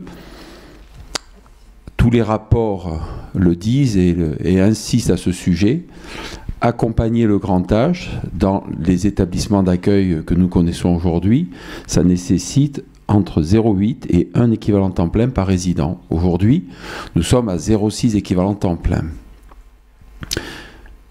Étant de nature très optimiste, je me projette à demain et je dis, demain, on a 0,8 ou 0,9 équivalent temps plein, soyons fous, par résident. L'idée, c'est que nous accueillons chaque personne en devant tenir compte de, son, euh, de, sa, sa, sensibilité, de ses besoins spécifiques et uniques finalement. Ça veut dire que nous avons une équipe pluridisciplinaire qui est amenée. Ça veut dire une équipe disciplinaire, 13, 14, 15 métiers différents qui doivent on a, tous les établissements entre 62 ou 65 résidents. Ça veut dire que 15 salariés, 365 jours par an, 24 euh, heures sur 24, doivent s'adapter à chaque projet individuel pour que chacun de nos aînés puisse vieillir dans la dignité et jusqu'à son dernier souffle. Pour ça, il va falloir changer de mode de travail parce qu'à 0,6 équivalent temps plein par résident, aujourd'hui, nous sommes dans, malheureusement, dans des organisations de travail qui sont un petit peu à la tâche. Alors que nous devrions être dans un mode de travail par objectif et nous adapter à chaque résident. Alors cela appelle deux remarques de ma part. Première remarque, évidemment si on n'a pas mis en place et si on ne met en en place cette méthode EDT, alors nous j'appelais ça à l'époque concertation, co-construction, tout ça dans un cadre très, très évolué et très, très construit, y compris construit avec les règles du jeu transparentes avec l'équipe. si on n'a pas ça en place dans nos établissements, on ne pourra pas passer d'un travail par tâche à un travail par objectif. Vous l'avez dit tout à l'heure, hein, c'est l'EDT, c'est non travailler à son travail en fait. C'est ça la différence avec une réunion on, considère que c'est notre travail de réfléchir à notre travail. Bon. Mais l'autre réflexion, c'est de dire de l'autre côté, si on veut vraiment améliorer les choses, soulager le système de santé, permettre à nos aidés de rester dignes jusqu'à la fin de leur vie, eh bien, il faut aussi que cette EDT soit accompagnée d'une augmentation substantielle de moyens en personnel, parce que sinon, on va à l'épuisement, parce que Madame euh, euh Lidec, euh, Marianne de, la résidence Saint-Joseph l'a bien dit, euh, c'est un investissement énorme. Il faut donner du sens. Je, suis tout à fait d'accord avec ce qu'a dit Monsieur Guinaud et ce qu'ont dit l'ensemble des intervenants mais pour donner du sens, il faut que les gens soient satisfaits de leur travail. Et nos salariés seront satisfaits de leur travail. Le jour où chaque fois qu'elles quitteront un résident, le résident sourira et sera content de ce qui a été fait et ne sera pas frustré du manque de temps qui lui est consacré. Alors voilà, oui à l'EDT, je me permets d'exprimer cette petite réserve il faut augmenter les effectifs des établissements parce qu'il ne faudrait pas non plus épuiser les équipes dans un cadre contraint de DP, de planning, de roulement, etc. Voilà, je suis désolé d'avoir été un petit peu long, mais je pense que c'est quand même important de le resituer, sinon on met les équipes en échec. Merci, Monsieur Roux. Euh, d'autres commentaires? On va euh, terminer cette euh, table ronde. On va repasser le micro. Merci. Voilà, merci euh, à nos interlocutrices et interlocuteurs. Euh, Amélie Dautrieux pour euh, terminer, dire un petit mot de, conclusion. Merci beaucoup pour ces témoignages. Vous entendez bien dans ces témoignages aussi à quel point l'espace de discussion sur le travail, si c'est un dispositif qui permet d'aider à discuter du travail et à régler des problématiques d'organisation du travail, il reste quand même que c'est un dispositif au service d'un projet, comme vous venez à l'instant de le citer. Et donc ce projet, en fait, euh, euh, il participe à la, qualité de vie, conditions de travail, et c'est pourquoi l'EDT s'inscrit en fait dans ces démarches de qualité de vie et conditions de travail. Alors, de quelle qualité de vie et, conditions de travail parle-t-on? En fait, en référence à l'accord national interprofessionnel de 2013, qui est un accord qui a été discuté du coup par les organismes euh, euh, euh, les organismes sociaux, la qualité de vie au travail, on l'a bien dit, elle s'inscrit vraiment d'abord sur le travail. Les partenaires sociaux, excusez-moi, je réfléchissais en même temps ce que je devais dire après et ça a bugué. donc cette qualité de vie, conditions de travail, elle répond en fait déjà à une injonction d'une certaine manière. Il n'y a pas le choix, il faut bien y travailler. Mais au-delà de ça, euh, comme le rappelle Yves Clos, euh, c'est vraiment la, question de dire il n'y a pas de bien-être en fait sans bien faire. Et donc c'est vraiment la question de lier l'être, le faire à son travail qui se pose ici. Donc ça c'est vraiment central et euh, c'est tout un projet en fait dans les établissements qui se définissent à cet endroit. Donc je reviens pas trop parce qu'on l'a déjà euh, vraiment euh, dit à quel point le travail est central, hein, euh, aussi bien dans les espaces de discussion que finalement dans la qualité de vie et conditions de travail, dont l'espace de discussion est en fait un des moteurs et un des outils, un des dispositifs indispensables dans la mise en place de ces démarches. Et puis, essentiel aussi. Non seulement ça sert les conditions de travail, mais c'est au service de la performance en fait de la structure, hein, de l'établissement. Et donc ça va de pair en fait. C'est-à-dire qu'il n'y a pas de travail bien fait dans de bonnes conditions de réalisation de son travail, sans ça aille de pair avec la qualité de prise en charge des résidents, des bénéficiaires au sens, au sens large, et réciproquement en fait. Donc ça se nourrit l'un l'un et l'autre.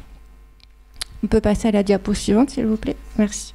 Donc juste pour resituer en fait euh, la qualité de vie, conditions de travail, ce qui est important, vous avez vu dans l'ANI, en fait, de 2013, on parlait de qualité de vie au travail. Et en 2020, les partenaires sociaux ont rajouté le C de conditions. Il ne s'agit pas de conditions de vie au travail, mais conditions du travail, c'est-à-dire les conditions dans lesquelles ce travail se réalise. Donc cette QVCT, en fait, elle s'appuie sur, euh, sur trois dimensions.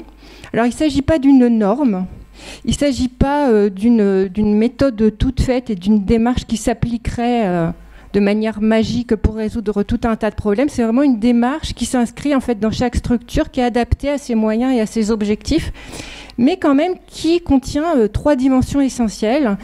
D'une part, des ambitions communes, d'autre part des méthodes et des principes incontournables, et puis des sujets qui doivent être discutés, qui doivent être travaillés.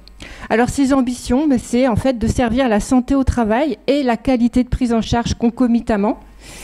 C'est également de donner du pouvoir d'agir sur le travail par ceux qui le réalisent à tous les niveaux, c'est-à-dire aussi bien au niveau des salariés, euh, euh, professionnels, soignants, euh, psychologues, dont on a vu pas mal d'exemples, managers également, et les, représentants, donc les responsables d'équipe également, et puis les représentants des salariés, qu'il s'agisse du CSE pour les, établissements qui en disposent ou, des représentants des salariés.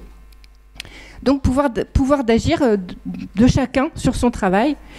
Et puis, et c'est ce qui a été également dit, c'est travailler sur les problématiques d'aujourd'hui, mais c'est aussi anticiper les problématiques de demain. Donc c'est vraiment travailler sur une perspective de futur de euh, développement euh, de l'établissement et des personnes dans ces établissements. Et puis donc, je vous disais, c'est également des principes et des méthodes euh, donc à ajuster, à adapter à la culture, aux valeurs, à la réalité hein, des structures que, vous, que vous représentez toutes et tous. Mais c'est des principes et des méthodes en fait qui sont basés sur des démarches partagées et des démarches euh, qui sont partagées de manière paritaire, donc avec les salariés, euh, leurs, responsables, et puis euh, les représentants des salariés, car elles s'inscrivent vraiment dans des problématiques aussi de dialogue social et de dialogue sur le travail. Donc on l'a vu, les espaces de discussion sont un des outils et une des modalités euh, euh, qui, permettent en fait hein, de travailler cette qualité de vie et conditions de travail. C'est vraiment une, méthode et je vais vous en dire plus davantage, enfin un tout petit peu plus euh, dans la suite, mais c'est vraiment les espaces de discussion en fait qui sont ce principe qui va nourrir les démarches de qualité de vie et conditions de travail.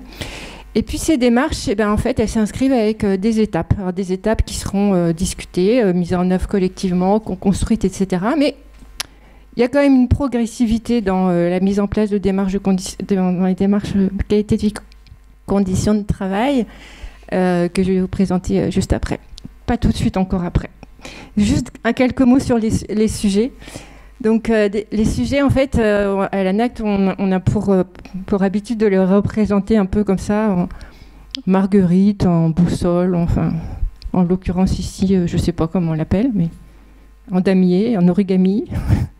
en tout cas, six dimensions qui doivent être interrogées. ça ne veut pas dire que toutes les dimensions doivent être systématiquement interrogées dans une démarche qualité de vie, conditions de travail, mais qu'au moins qu'on se dise qu'à chaque fois qu'on aborde une question, on se pose la question de savoir quels sont les incidents sur ces sujets-là. Donc c'est des sujets qui sont bien sûr en lien avec euh, le travail et ses conditions, et puis euh, les, conditions, les conditions de réalisation de ce travail. Alors je vais vous en citer euh, quelques-unes, donc enfin ou toutes si vous voulez. Donc la première dimension c'est l'organisation et le contenu et la réalisation du travail. Donc ça, ça a été discuté à l'instant. Donc c'est s'interroger en fait sur euh, la manière dont le travail peut, euh, euh, autour de, quel principe le travail est organisé. Donc les questions d'organisation du temps, la question, on l'a vu tout à l'heure, hein, sur le planning, la question de la répartition, de la régulation de la charge de travail. Tous ces éléments-là, en fait, qui viennent nourrir cette dimension de la qualité de vie de ces démarches. On a vu également, enfin on l'a pas trop discuté ce matin, mais les qualités, ces démarches viennent interroger le projet d'entreprise hein, et le projet euh, de management, enfin le, projet d'entreprise et le mode de management dans les structures. Donc euh, c'est vraiment des sujets qui sont abordés dans, ces démarches-là. Une dimension aussi qui est apparue ce matin, c'est la dimension autour des compétences et des parcours professionnels. Donc ça, c'est un, sujet qui est quand même assez essentiel. Je me permets d'y rester un petit peu parce qu'il a été quand même repris euh, dans, les tables rondes.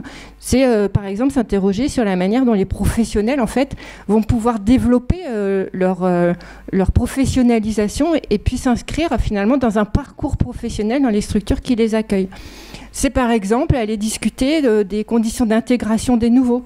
C'est par exemple aller questionner les fiches de poste, mais s'interroger plus aussi plus en avant sur les formations qui sont nécessaires pour construire des parcours durables et des parcours qui vont permettre aussi de fidéliser en fait euh, les salariés qui s'y retrouvent et puis qui vont gagner en compétences euh, aussi au service de la structure et donc de la qualité de prise en charge.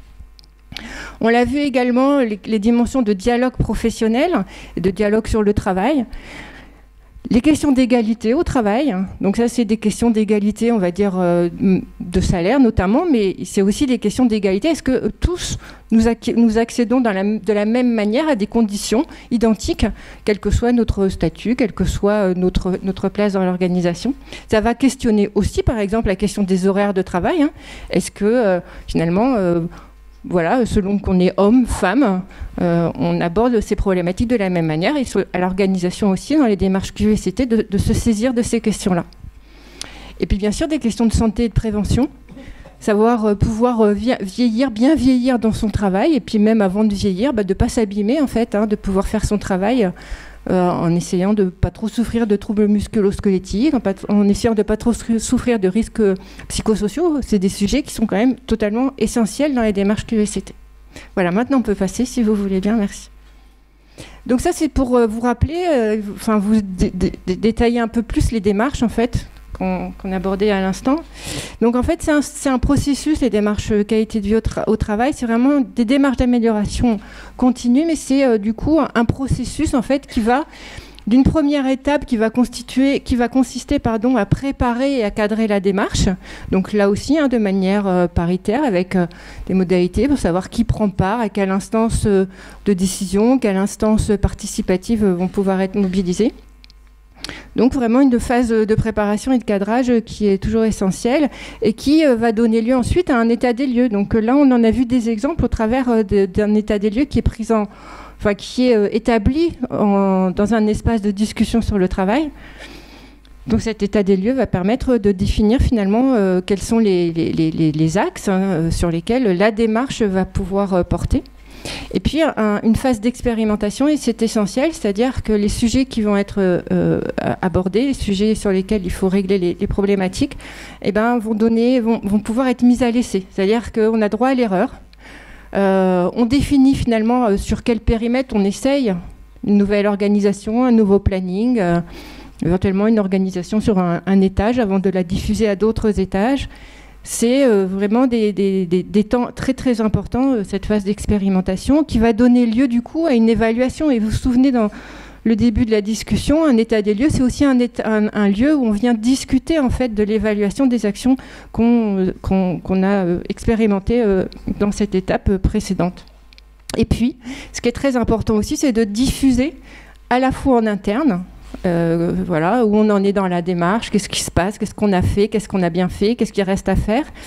Et puis aussi à l'externe, parce que finalement, euh, ces questions euh, de démarche qualité de vie au travail, c'est aussi l'insertion de la structure bah, dans son périmètre, dans un système d'acteurs. qui composent bah, les institutions qui sont autour de vous, les familles, les bénéficiaires. Alors les bénéficiaires, je ne discuterai pas de savoir si c'est interne ou externe. Voilà. Ça, c'est euh, le processus de la démarche. On peut passer, euh, s'il vous plaît. Donc la qualité de vie et conditions de travail, euh, vous, l'avez vu, vous, le percevez, je pense. C'est vraiment une question de. D'abord, la qualité de vie et conditions de travail, c'est une question de perception. Chacune a la sienne, chacun, chacune a la sienne. Et c'est l'objet en fait de venir en discuter. Finalement, qu'est-ce qui compose au travers des espaces de discussion, comme on l'a vu, qu'est-ce qui compose euh, les problèmes, qu'est-ce qui, permet en fait euh, de les solutionner? Donc euh, l'ensemble de la manière, enfin la manière dont les personnes perçoivent ces, ces éléments constitutifs d'une qualité de vie, conditions de travail favorables, en fait, viennent être discutés dans ces espaces de discussion et c'est ce qui permet aux espaces de discussion en fait de venir nourrir la démarche. Euh, ce que je peux dire là par rapport à, ça aussi, en, écho aux témoignages qui ont été précédemment, précédemment établis, c'est que il y a des sujets en fait qu'on va venir traiter un petit peu à chaud, c'est-à-dire les irritants du quotidien, venir euh, bah, de manière assez récurrente de manière hebdomadaire, pour, pour certains même tous les jours, aller discuter finalement de ce qui compose la problématique, qu'est-ce qui m'empêche de travailler aujourd'hui ou qu'est-ce qui m'a empêché de bien faire mon travail hier? Avec des irritants vraiment qu'il faut solutionner de manière un petit peu urgente et venir en discuter. Donc euh, voilà, ça vient questionner cette capacité d'expression des salariés hein, et puis euh, les éléments qui euh, sont vraiment dans le contenu du travail. Et puis il y a des, sujets qui sont un peu plus à froid, c'est-à-dire des projets, des sujets sur lesquels il faut un peu de recul, venir questionner des situations de travail qui vont voilà, peut-être de manière un peu récurrente, euh, venir, poser problème. Et ça, c'est des espaces de discussion aussi qui sont structurés, on va dire, euh, de manière récurrente, avec un peu plus de, avec une fréquence peut-être un peu plus étalée, en tout cas, qui permettent de venir euh, nourrir dans la continuité des, sujets qui vont composer, enfin, des sujets qui relèvent de la boussole que je vous montrais tout à l'heure. Alors, en conclusion, pour pour revenir un petit peu, essayer de synthétiser tout ce qui s'est dit ce matin. Vous avez bien entendu que les espaces de discussion du travail nécessitent quand même, ça, ne s'improvise pas.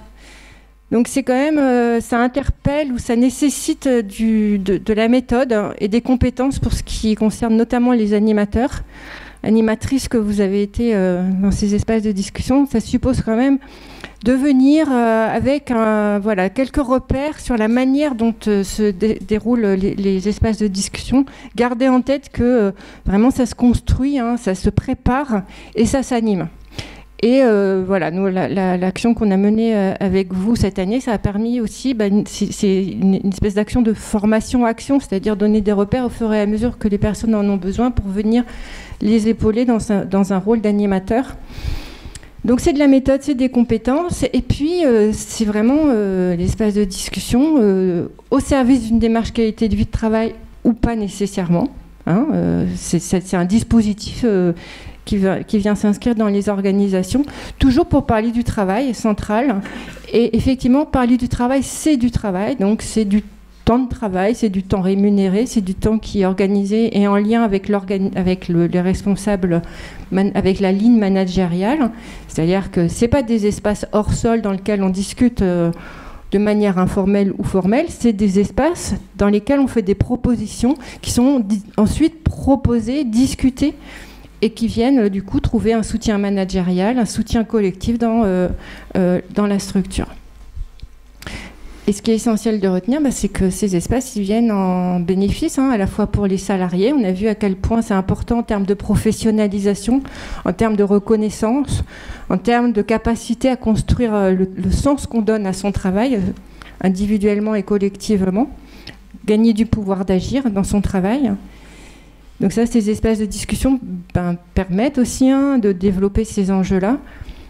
C'est aussi des bénéfices pour les structures et pour l'organisation, hein, avec euh, des capacités euh, décuplées en fait, hein, de trouver des solutions qui sont adaptées euh, réellement au, travail, avec des enjeux et des, des, leviers en fait pour donner plus de cohésion, pour rendre plus de cohésion dans les équipes, en espérant aussi pouvoir fidéliser les professionnels leur trouver des parcours qui leur vont bien, des places qui leur permettent de rester. Et puis, bien évidemment, euh, au, bénéfice des, au bénéfice des bénéficiaires. Euh, car la prise en charge en fait des patients et les disques, enfin, des, des, résidents ou, des bénéficiaires au sens large, les, leurs besoins sont aussi discutés en fait dans ces espaces de discussion. On vient discuter de telle personne dont elle a besoin et qu'est-ce qu'on peut mettre en œuvre collectivement ensemble pour pouvoir y répondre. Donc c'est bien l'enjeu. Euh, finale euh, qui, se joue là. On, vous remercie euh, beaucoup, donc euh, les représentants de l'ARACT, Amélie Dutrieux et Emmanuel Albert, et puis nos interlocutrices, voilà, qui qui ont représenté donc trois EHPAD de, de l'Aveyron. Voilà, merci euh, beaucoup. Je regardais le timing, on est pile euh, à l'heure pour débuter euh, la table ronde numéro 2 consacrée au retour sur des actions mises en place par la plateforme Autonomie en Aveyron. Alors pour parler de l'opération Zest, hop, vous voyez que les sièges se sont libérés, vous pouvez les prendre. Loïc Prudhomme, voilà, qui est le directeur de l'ADEL, l'association pour le développement de l'emploi local à Bozoul. Également Anne Casals, conseillère emploi insertion, l'espace emploi emploi formation de Marcillac-Vallon. Euh, nous parlerons aussi euh, de la semaine des métiers de l'autonomie, donc euh, peuvent également déjà venir Karine Garrigue-Salomon, directrice de la masse de la Boradette à Saint-Côme-d'Olt. Thomas Personeni, également chargé de mission à Sens Action. Et puis nous aurons aussi tout à l'heure Séverine Raffi, la chef de projet de la plateforme des métiers de l'autonomie. Mais pour l'instant, elle va lancer le, diaporama puisque nous allons euh, commencer par parler de cette opération euh, ZEST qui fait donc le lien entre vos établissements, l'insertion. En Aveyron, il y a quatre euh, associations intermédiaires, dont l'ADEL donc à Bouzoul. Et on commence par Loïc Prudhomme. Je vais donner le, micro voilà, pour euh, nous euh, présenter un petit peu cette euh, démarche et ce que vous avez fait à l'ADEL. Bonjour à tous pour, pour commencer. du coup, oui, Loïc Prudhomme, responsable de l'association intermédiaire ADEL. Alors, euh, j'étais venu l'année dernière euh, à, la, matinée euh, pour présenter un petit peu ce dispositif ZEST qui était expérimental. Voilà, Madame Raffi nous a invités pour venir présenter le, désormais le, bilan. Alors, le bilan n'est pas complet, mais voilà, on arrive au bout. Et du coup, je, vais vous redonner un petit peu le, cadre. Donc, déjà, qu'est-ce que c'est qu'une association intermédiaire Parce que peut-être que ça parle pas à tout le monde. Une association intermédiaire, c'est une structure d'insertion par l'activité économique. Notre objet, c'est aider des personnes en recherche d'emploi et en difficulté dans leur recherche d'emploi à retrouver un emploi pérenne et on s'appuie sur le levier du travail. Euh, donc nous, association intermédiaire, on met à disposition euh, ces, personnes qu'on accompagne euh, sur des missions, des missions de travail un peu comme l'intérim, que ce soit en entreprise, en collectivité ou en association. Et en parallèle, on a des conseillers emploi, conseillers insertion qui travaillent avec eux, un projet professionnel. Donc on n'est pas des spécialistes euh, du secteur du sanitaire et social, on est plutôt des généralistes, puisque c'est en fonction des parcours des personnes qu'on va nous activer euh, des leviers, des relais et euh, des partenariats.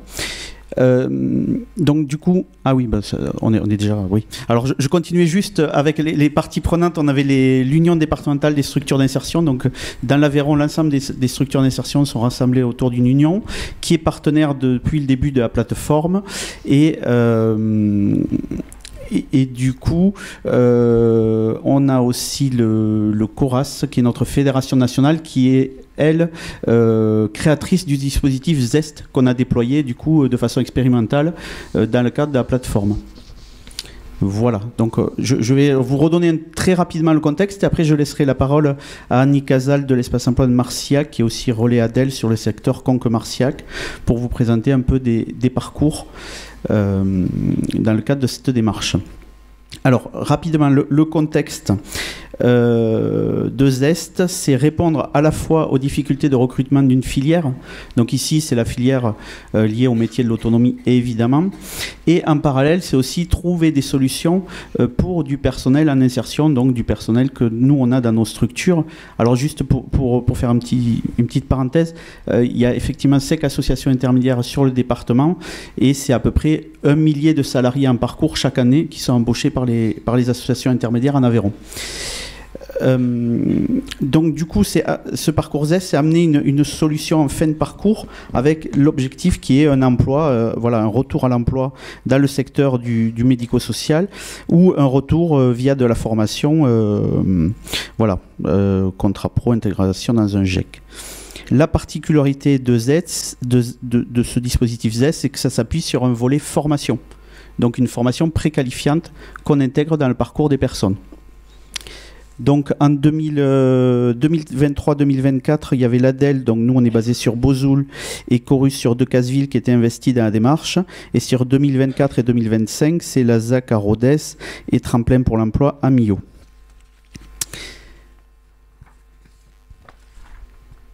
Oui. Ah, je ne savais pas que c'était animé, mais vous pouvez dérouler, hein, c'est pas.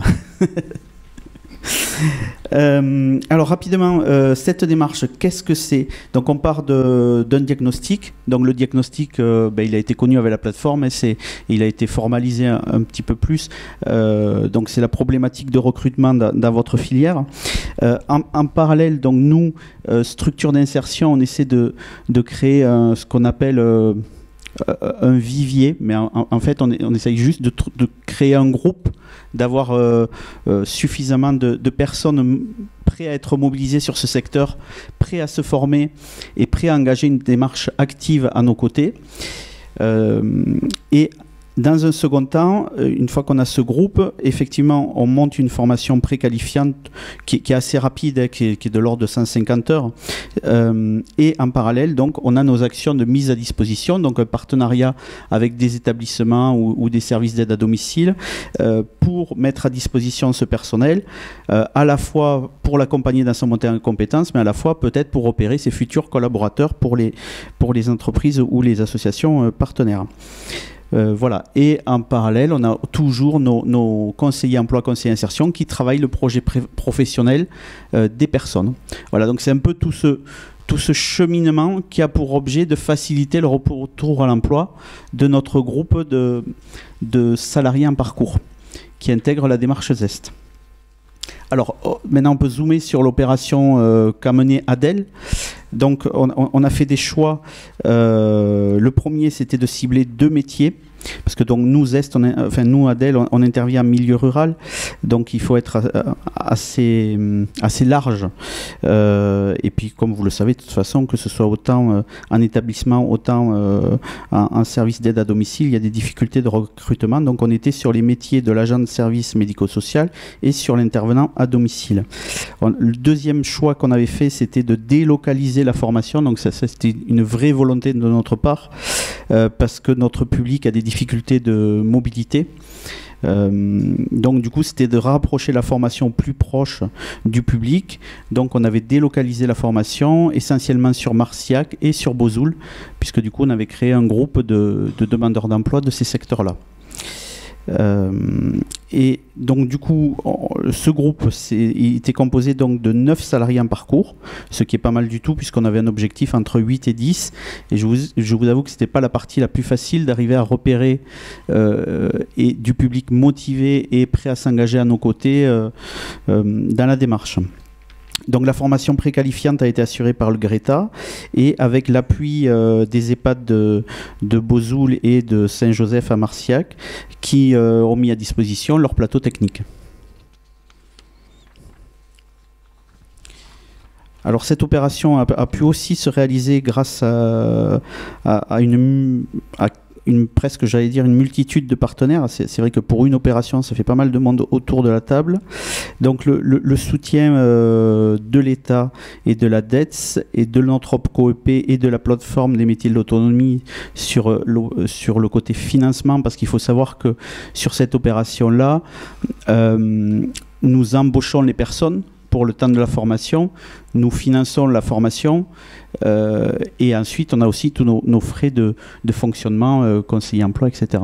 Donc euh, ingénierie. Donc c'est vrai que c'est une opération qui est assez lourde en termes financiers, assez lourde de notre côté aussi en termes d'engagement et de et, un peu chronophage. Voilà, il faut il faut une vraie volonté de le mettre en œuvre parce qu'en fait on n'a pas une solution clé en main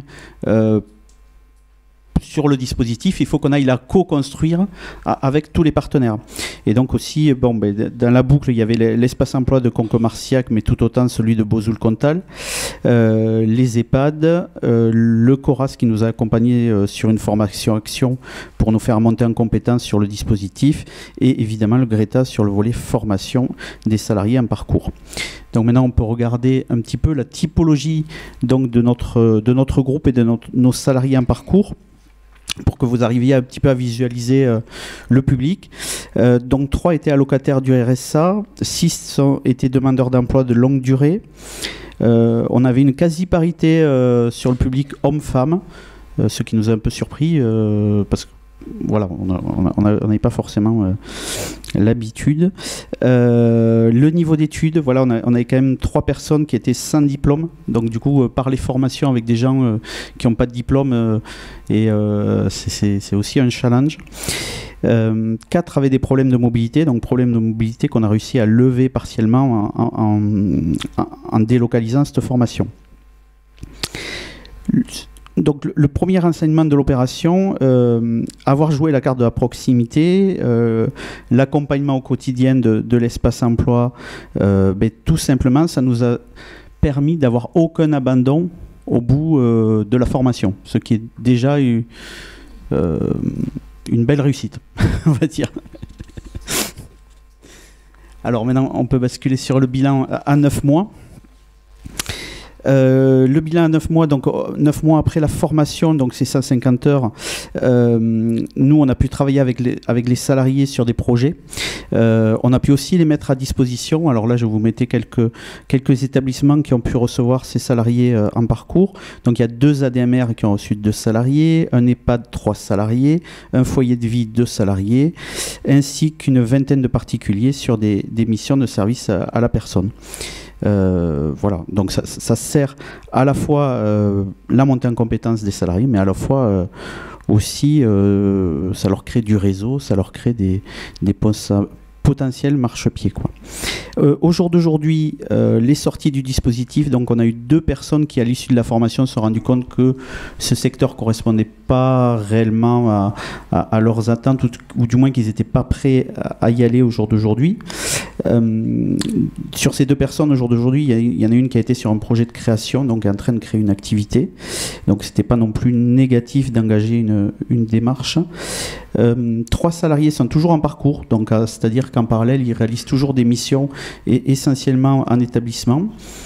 Et quatre sont sortis en emploi, donc euh, trois CDI et un CDD, dont deux dans la filière. Voilà, donc c'est quand même un résultat extrêmement positif. en fait, nous, un petit peu notre constat, c'est que cette dynamique de groupe qui a été créée à travers la formation, à travers un accompagnement de groupe, crée une véritable dynamique et aide les gens, euh, euh, au-delà de, de la montée en compétence, aide les gens à retrouver un, emploi. Donc c'était très positif pour nous. Euh, je vais laisser la parole à Annie Casal qui va revenir peut-être sur un parcours plus précisément. Donc Annie Casal, donc je suis conseillère en insertion professionnelle à l'espace emploi Conques-Marcillac.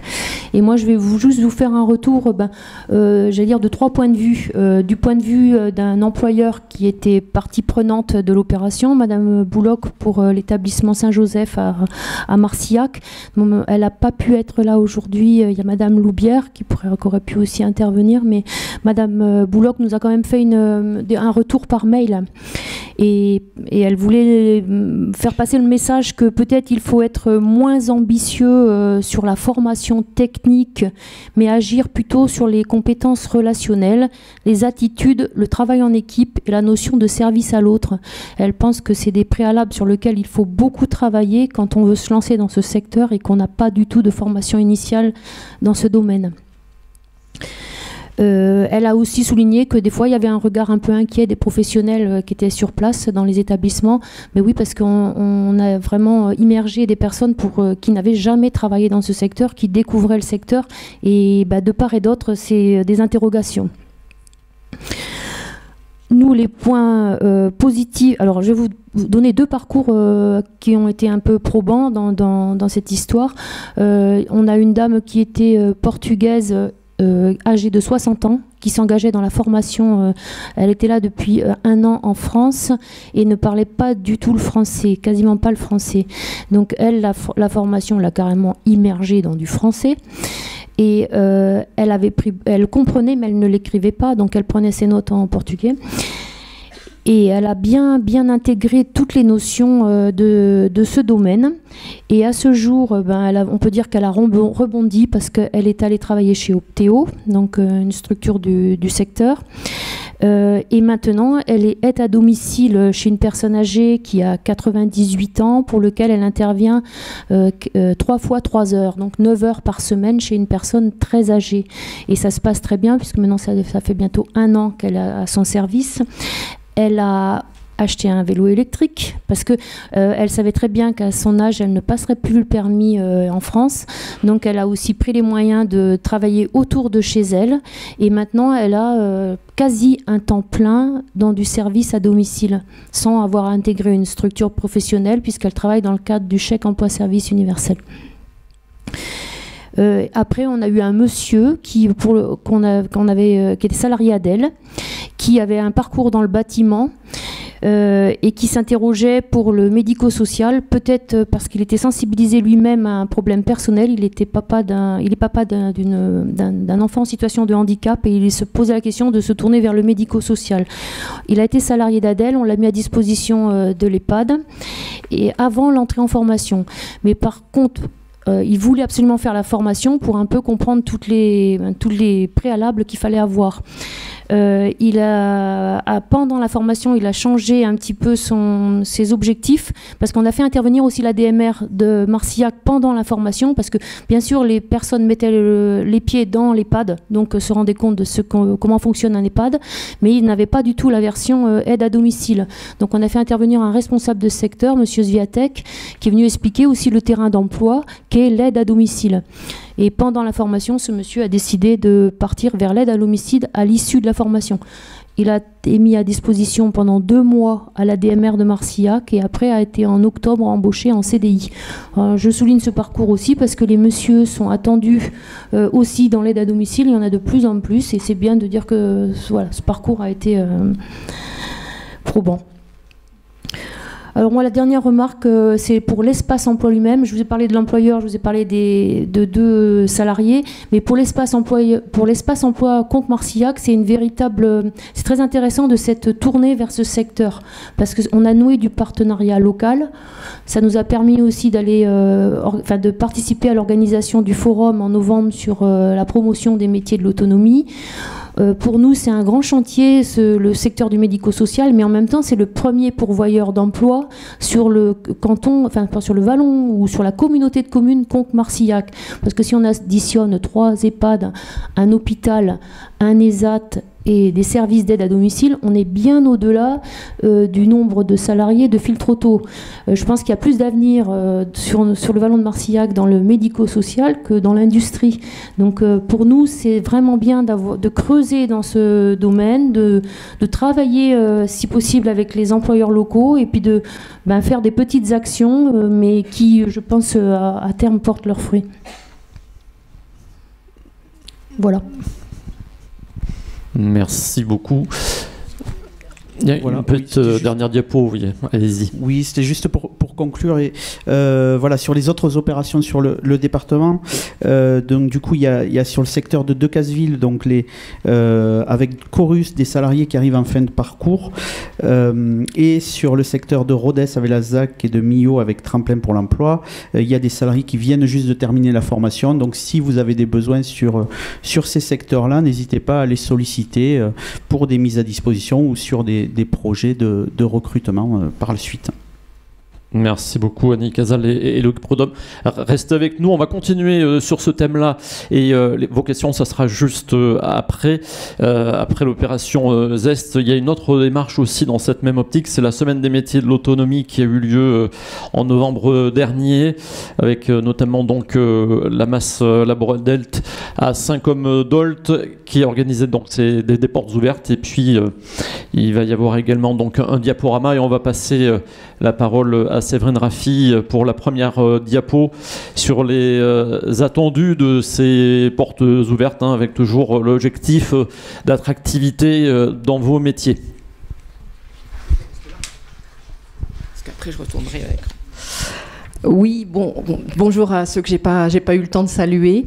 Euh, donc Séverine Raffi, chargée de mission sur la plateforme des métiers de l'autonomie. C'était juste pour vous resituer euh, le contexte donc de cette semaine des métiers de l'autonomie qui faisait partie donc euh, du plan d'action qui avait été identifié dès le départ sur cette plateforme, à savoir mettre en place un événement départemental qui puisse à la fois parler des métiers et à la fois parler des établissements. Ça, c'est vous qui nous l'avez dit quand on est venu vous voir dans les premières premières réunions. Donc cet événement départemental a été organisé en novembre, effectivement, du 6 au 12 novembre. Il a nécessité en amont un gros travail de préparation donc euh, et de, travail sur avec vous sur le concept dans le cadre d'un groupe de travail sur la communication mais avec surtout l'appui euh, de mes collègues de la communication euh, et d'un prestataire que de, spécialiste de la communication d'un expert qui nous avait aussi accompagné qui est le cabinet Rose Primaire donc on, s'est réunis de nombreuses fois pour travailler sur le concept qui avait euh, vocation effectivement d'abord à s'appuyer sur euh, des événements qui se tiendraient dans vos établissements, justement aussi pour parler de vous en bien.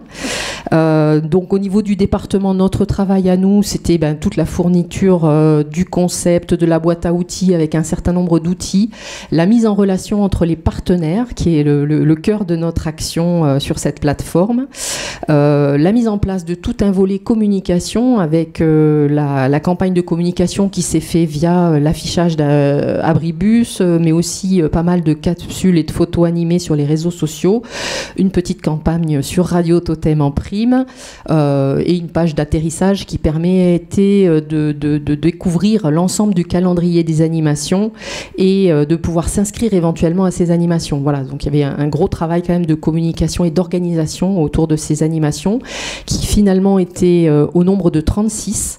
Euh, on, a eu 36 animations qui ont été proposées sur toute la semaine et aux quatre coins du département. Donc pour nous, c'était plutôt une, belle réussite.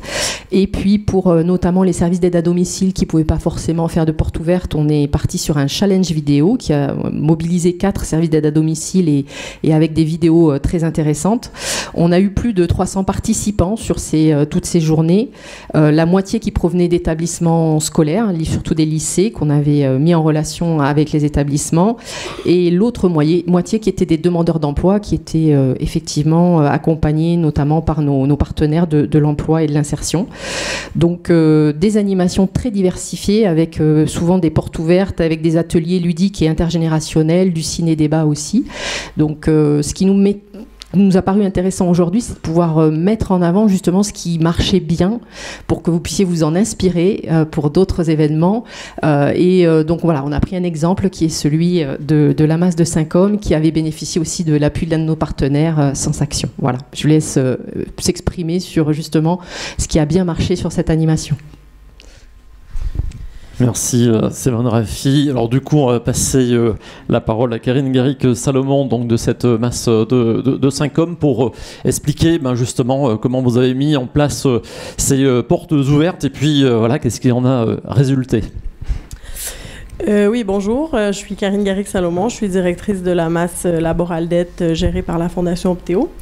Et du coup, quand on a entendu parler de la semaine des métiers de l'autonomie pour la première fois, il y avait eu un webinaire en octobre, il me semble, où il avait été, avait été suggéré de créer des liens avec des établissements scolaires et avec aussi les, espaces emploi-formation, les missions locales.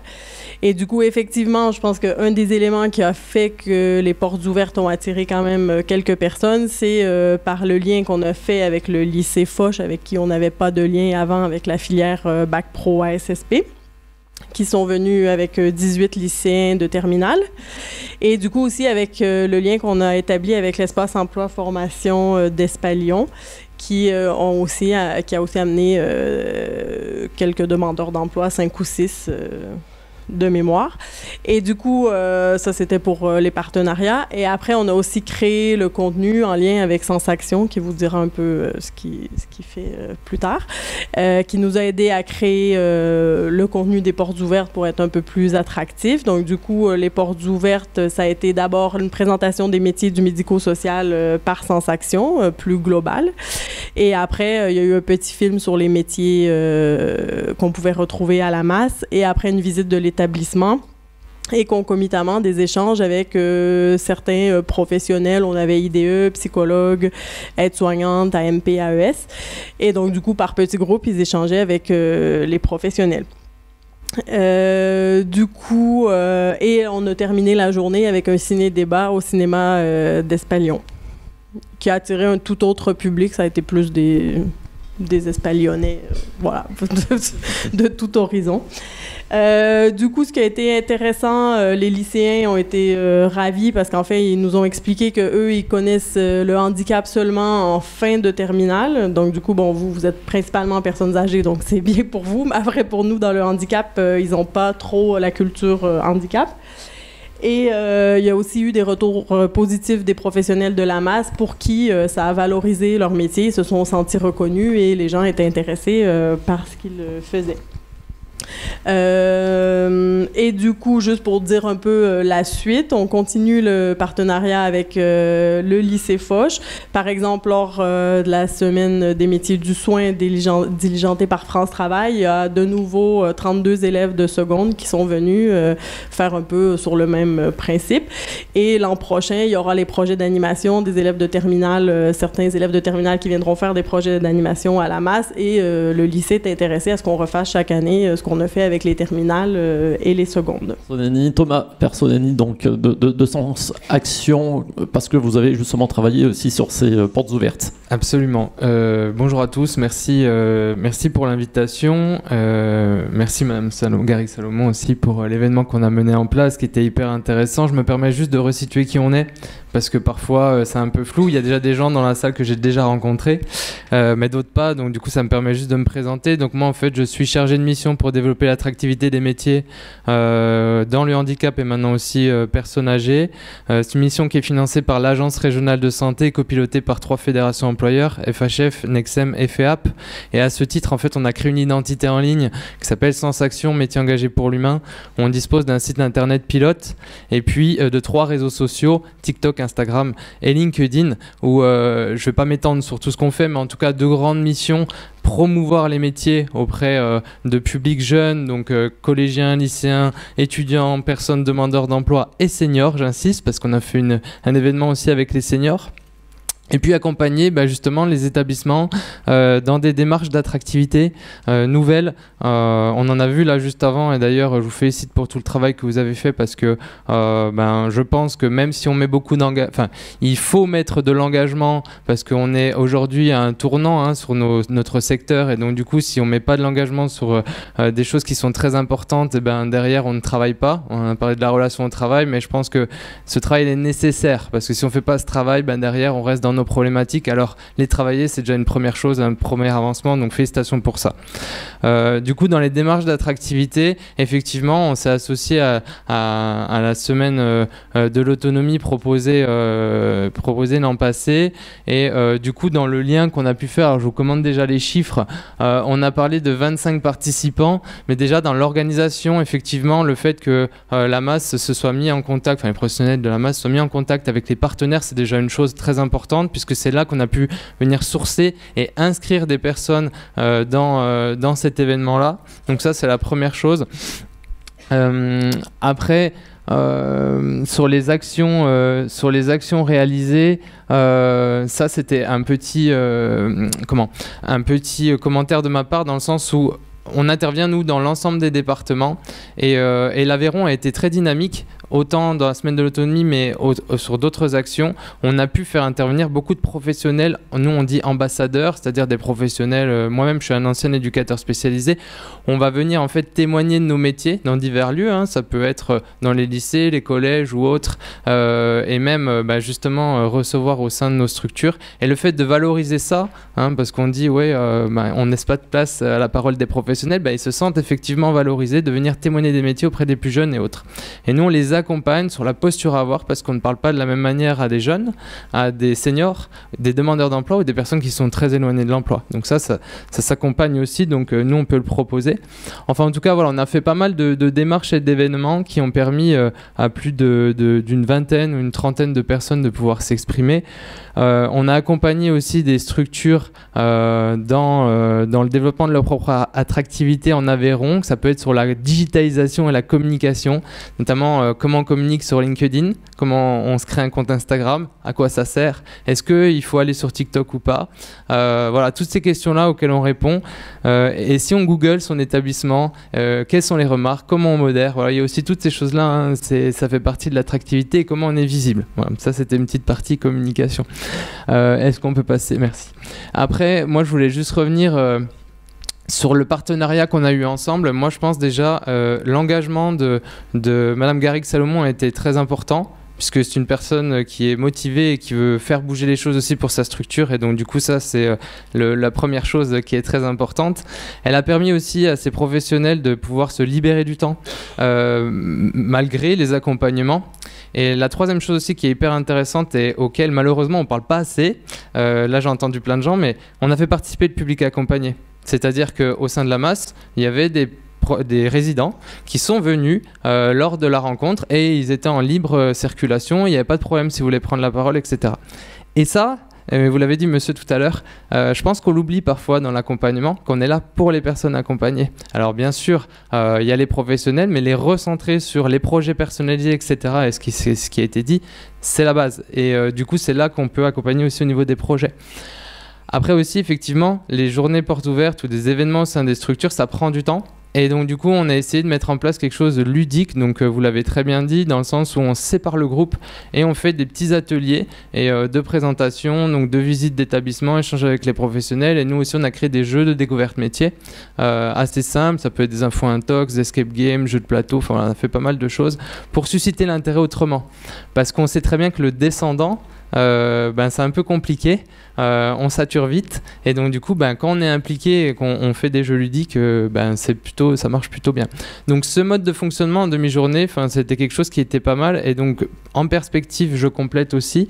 Avec le lycée Foch, nous, on a intervenu et du coup, on avait aussi invité à Mastincol, mais d'autres structures, et peut-être vous en faites partie, je me rappelle plus où il y avait, euh, pareil, on est venu présenter en fait 30 euh, minutes un peu le secteur, etc. aux jeunes. Et puis après, il y a eu euh, six tables rondes, on a séparé la, classe en six.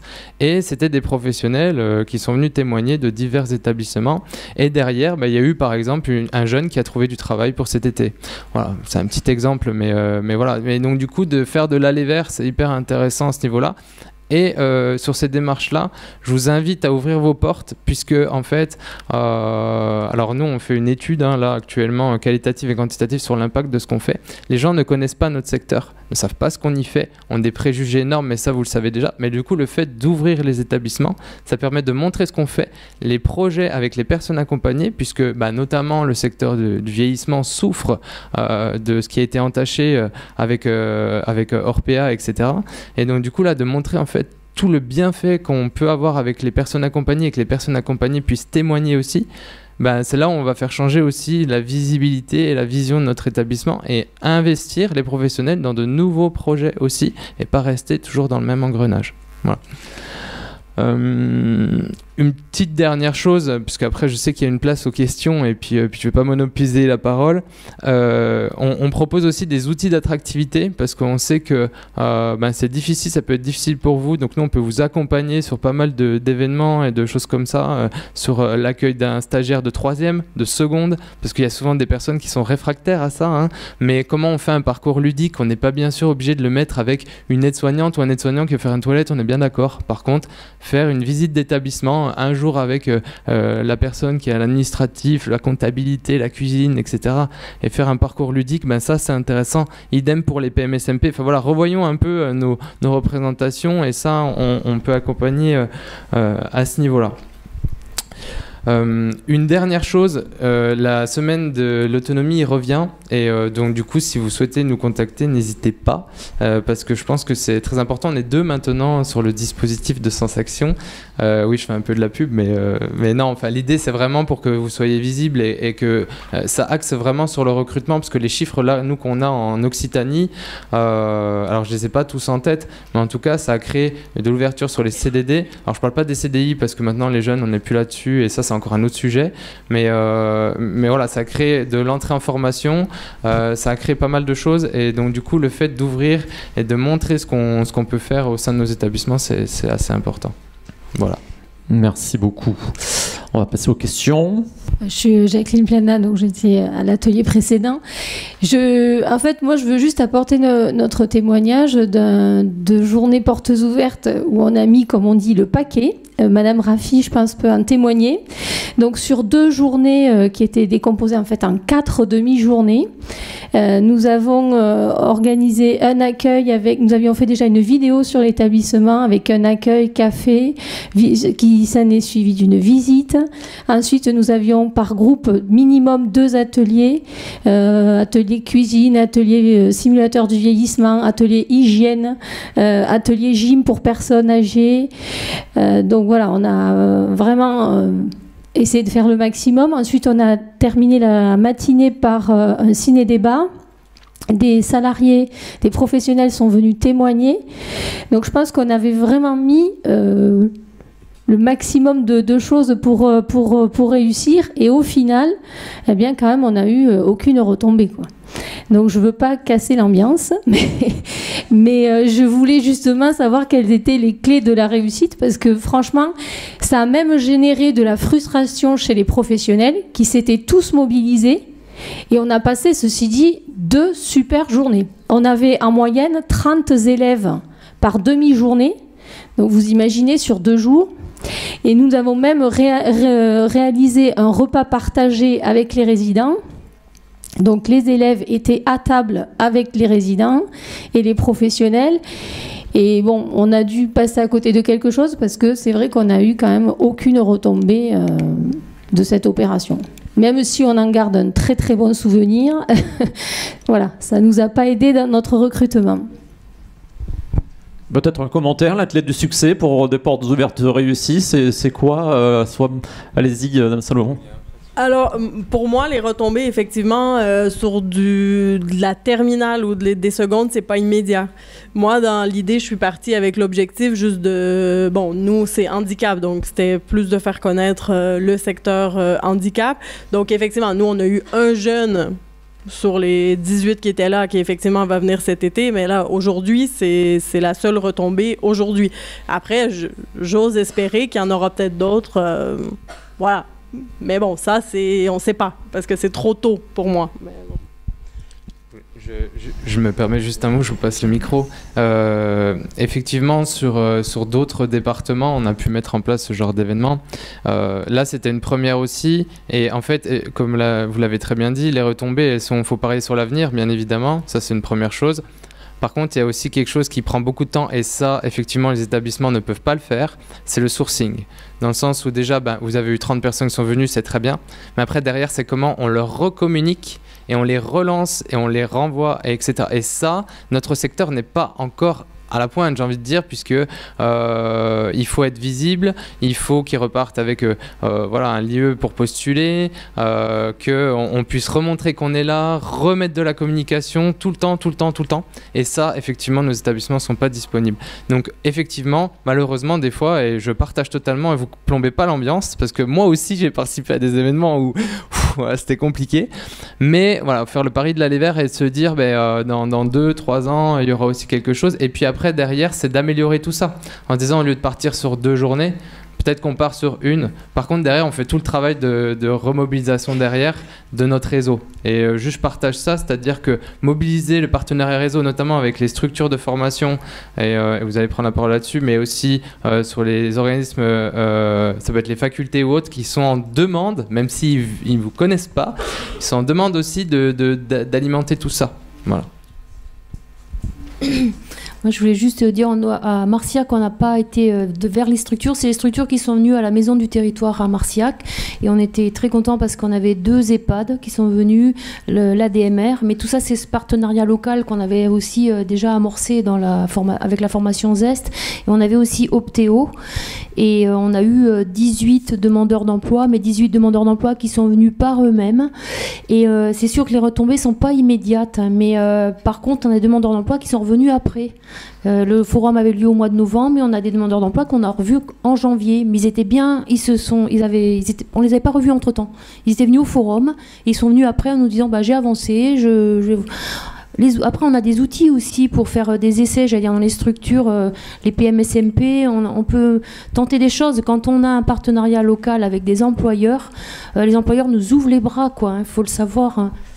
Et on avait aussi Optéo qui avait fait, qui avait choisi la formule papotin. Donc ils étaient venus avec des résidents de l'ESAT d'Ozit, euh, pas de l'ESAT d'Ozit, du foyer de vie d'Ozit et du foyer de vie de Clairvaux.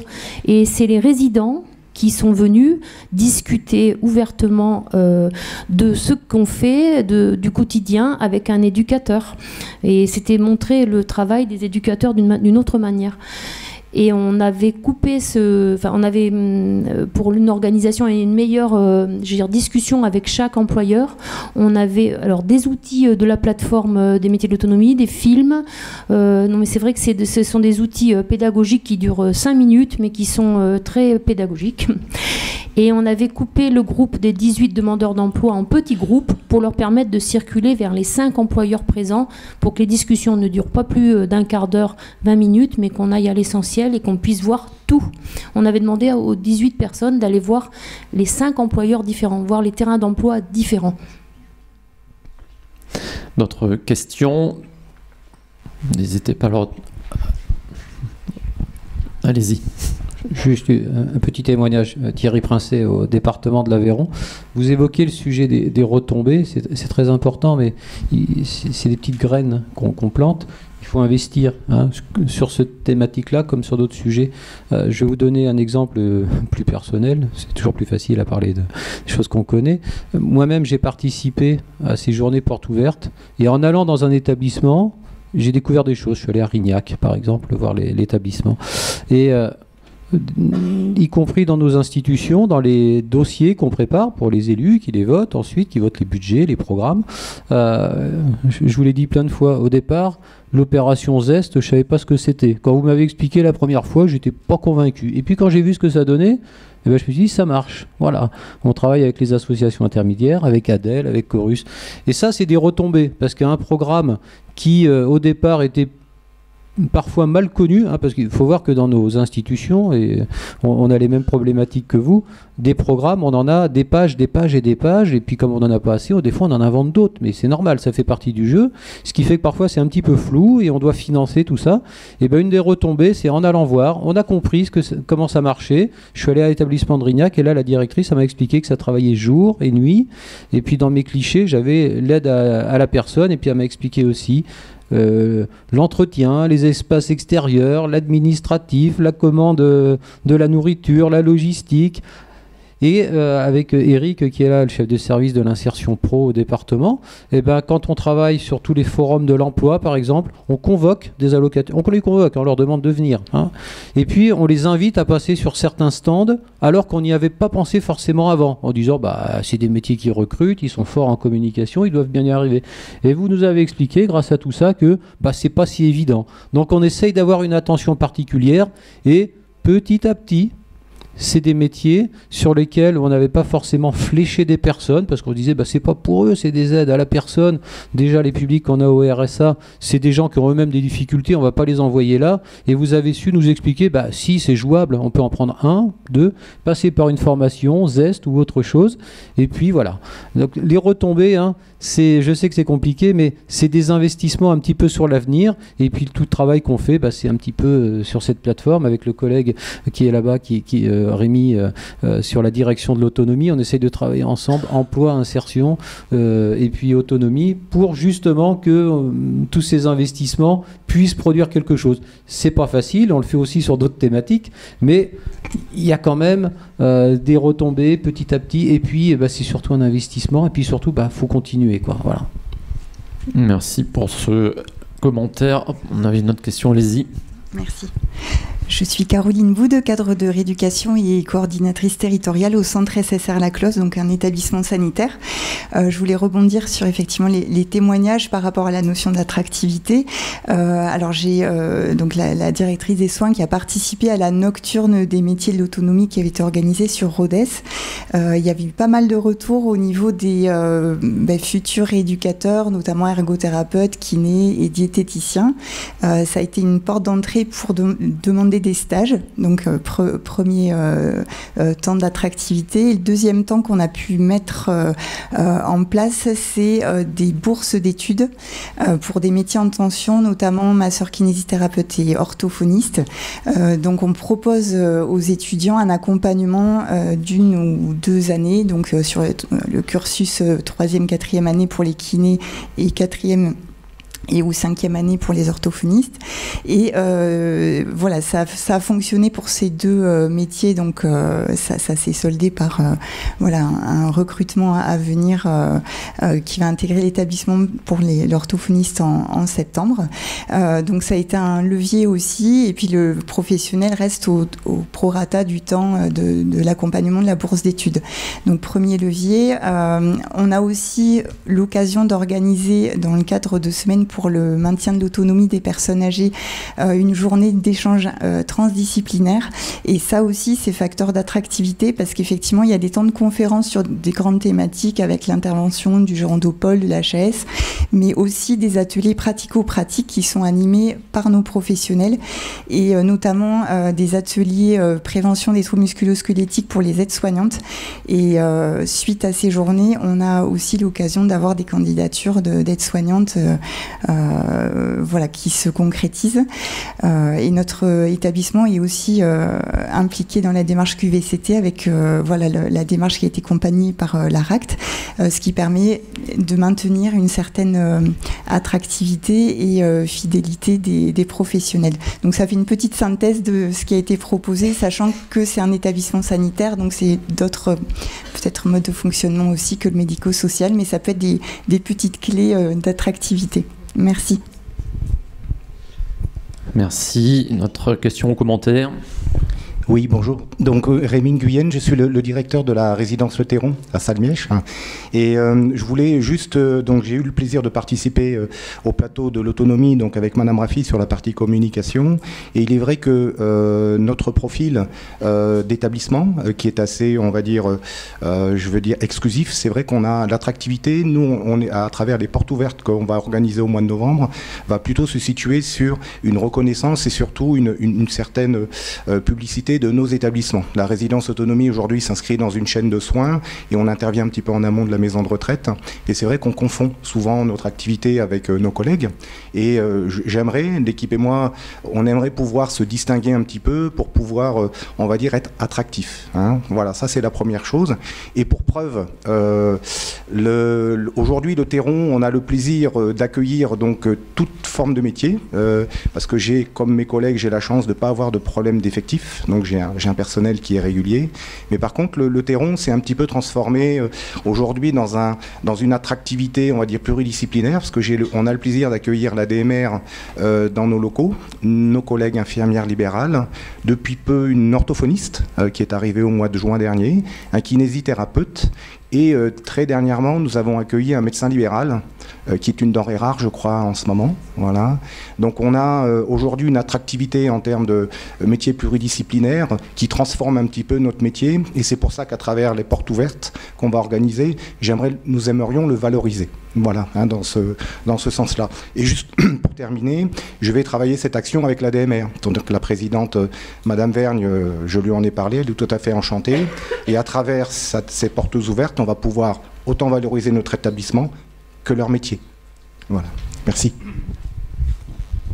Merci beaucoup. Est-ce qu'il y a d'autres questions, commentaires je, veux juste commenter ce qui est. Oui, allez-y. Je trouve ça hyper intéressant. Euh, peut-être certains y verront une concurrence. Euh, moi, je vous invite à pas le voir comme ça, mais plus une complémentarité, puisque effectivement, euh, on l'a dit, hein, il y a le secteur du domicile, personnes âgées, handicap, social, et malheureusement, euh, nous, les personnes qu'on rencontre, alors qui sont pas forcément, voire qui sont formées, catégorisent beaucoup trop et ne s'y retrouve pas. Il serait peut-être intéressant de voir aussi au-delà en montrant en fait juste la pluralité de l'accompagnement des personnes vulnérables et ben, il peut y avoir les personnes âgées avant, pendant, euh, puis après euh, en, fin de vie et puis euh, les personnes en situation de handicap, etc. Et arrêter de segmenter, puisqu'en fait, nous-mêmes, on se tire une balle dans le pied, parce qu'on va dire, ben oui, mais tu vas au domicile, mais après, tu pourras pas aller dans le handicap, alors que c'est pas forcément vrai. Euh, voilà, donc c'était juste pour compléter ce qui a été dit. Démarquez-vous de vos, ce que vous faites, c'est hyper intéressant, parce que justement, il y a plein d'établissements qui ont, qui ont des accompagnements différents et riches. On a eu des super témoignages, et donc du coup, ben, ça permet après aux personnes de se positionner, de, de venir vers vous et pas se dire, ah ben je vais dans la SSR qui fait toujours ça, ou je vais euh, n'est pas SSR non, c'est une résidence autonomie, non, vous n'avez pas compris. Voilà, donc c'était juste pour, euh, pour compléter. Tout à fait, merci. Une autre question? Sinon, on va passer ensuite euh, à la table ronde 3. Juste pour terminer, voilà, on a entendu des exemples, on a parlé bien sûr euh, donc euh, des portes ouvertes, mais il y a plein d'autres exemples. Je sais que vous, sans action, vous allez aussi sur des salons style TAF, il me semble, vous allez aussi au devant, voilà, des, des, jeunes pour les aiguiller un petit peu vers justement vos métiers. D'ailleurs, oui, d'ailleurs, première, oui, première à Rodez cette année où on a mis en place l'an dernier un partenariat avec Studirama, le salon Studirama qui vient plus dans les communes et moins dans les grandes métropoles. Euh, et donc du coup cette année on est présent à Rhodes euh, et on a invité les établissements médico-sociaux euh, à participer à Studirama dont fait partie notamment la masse mais d'autres. donc du coup pour faire de l'aller vert, c'est-à-dire rencontrer des étudiants ou des jeunes qui vont aller se former, hein, que ce soit des lycéens ou des, même il y a des étudiants bac plus 5. Il y en a qui recherchent de l'emploi, mais d'autres qui veulent entrer en formation. Mais l'idée, c'est déjà de venir les sensibiliser à quels sont nos établissements et pourquoi pas euh, trouver des contrats d'apprentissage, euh, des stages ou alors carrément de l'emploi euh, ou d'alternance. Voilà. Donc ça, c'est un exemple de, de, de lieu qu'on investit puisque sachez qu'à Studirama, l'an dernier à Rhodes, il n'y avait aucun organisme de formation de notre secteur. Voilà, zéro. Voilà, par exemple. merci beaucoup. Très bien. Bah, écoutez, merci beaucoup pour euh, ces témoignages. Je vais passer à la table ronde 3 avec une visio. Voilà, bah, je, vois que ça fonctionne. Euh, cette table ronde qui a pour but de vous faire découvrir des outils et des euh, partenaires. Et on commence justement par euh, l'ANAP, l'Agence nationale de la performance sanitaire et médico-sociale. Et nous avons donc en visio Mathieu Guyot qui espère ressources humaines à la nappe. Alors bonjour Monsieur Guyot, puisque voilà vous n'êtes pas parmi nous, mais on vous voit très bien. J'espère que vous nous entendez aussi.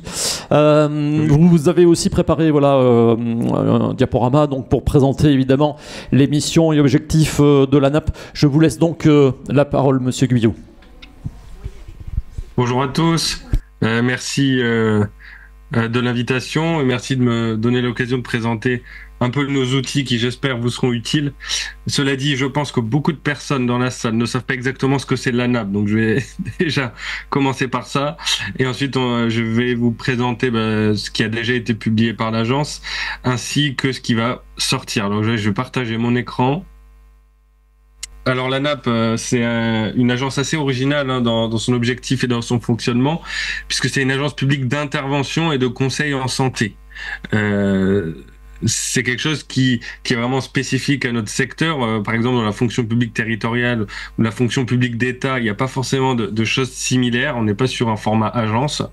Euh, alors, je vais prendre quelques instants pour vous expliquer un peu plus en quoi ça consiste. Alors déjà, c'est une agence qui est tout à fait récente, hein, puisqu'elle a été créée en 2009. Euh, voilà, c'était à ce moment-là qu'il y a eu quelques créations d'agences. La NAP en a fait partie. Elle est rattachée directement au ministère de la Santé.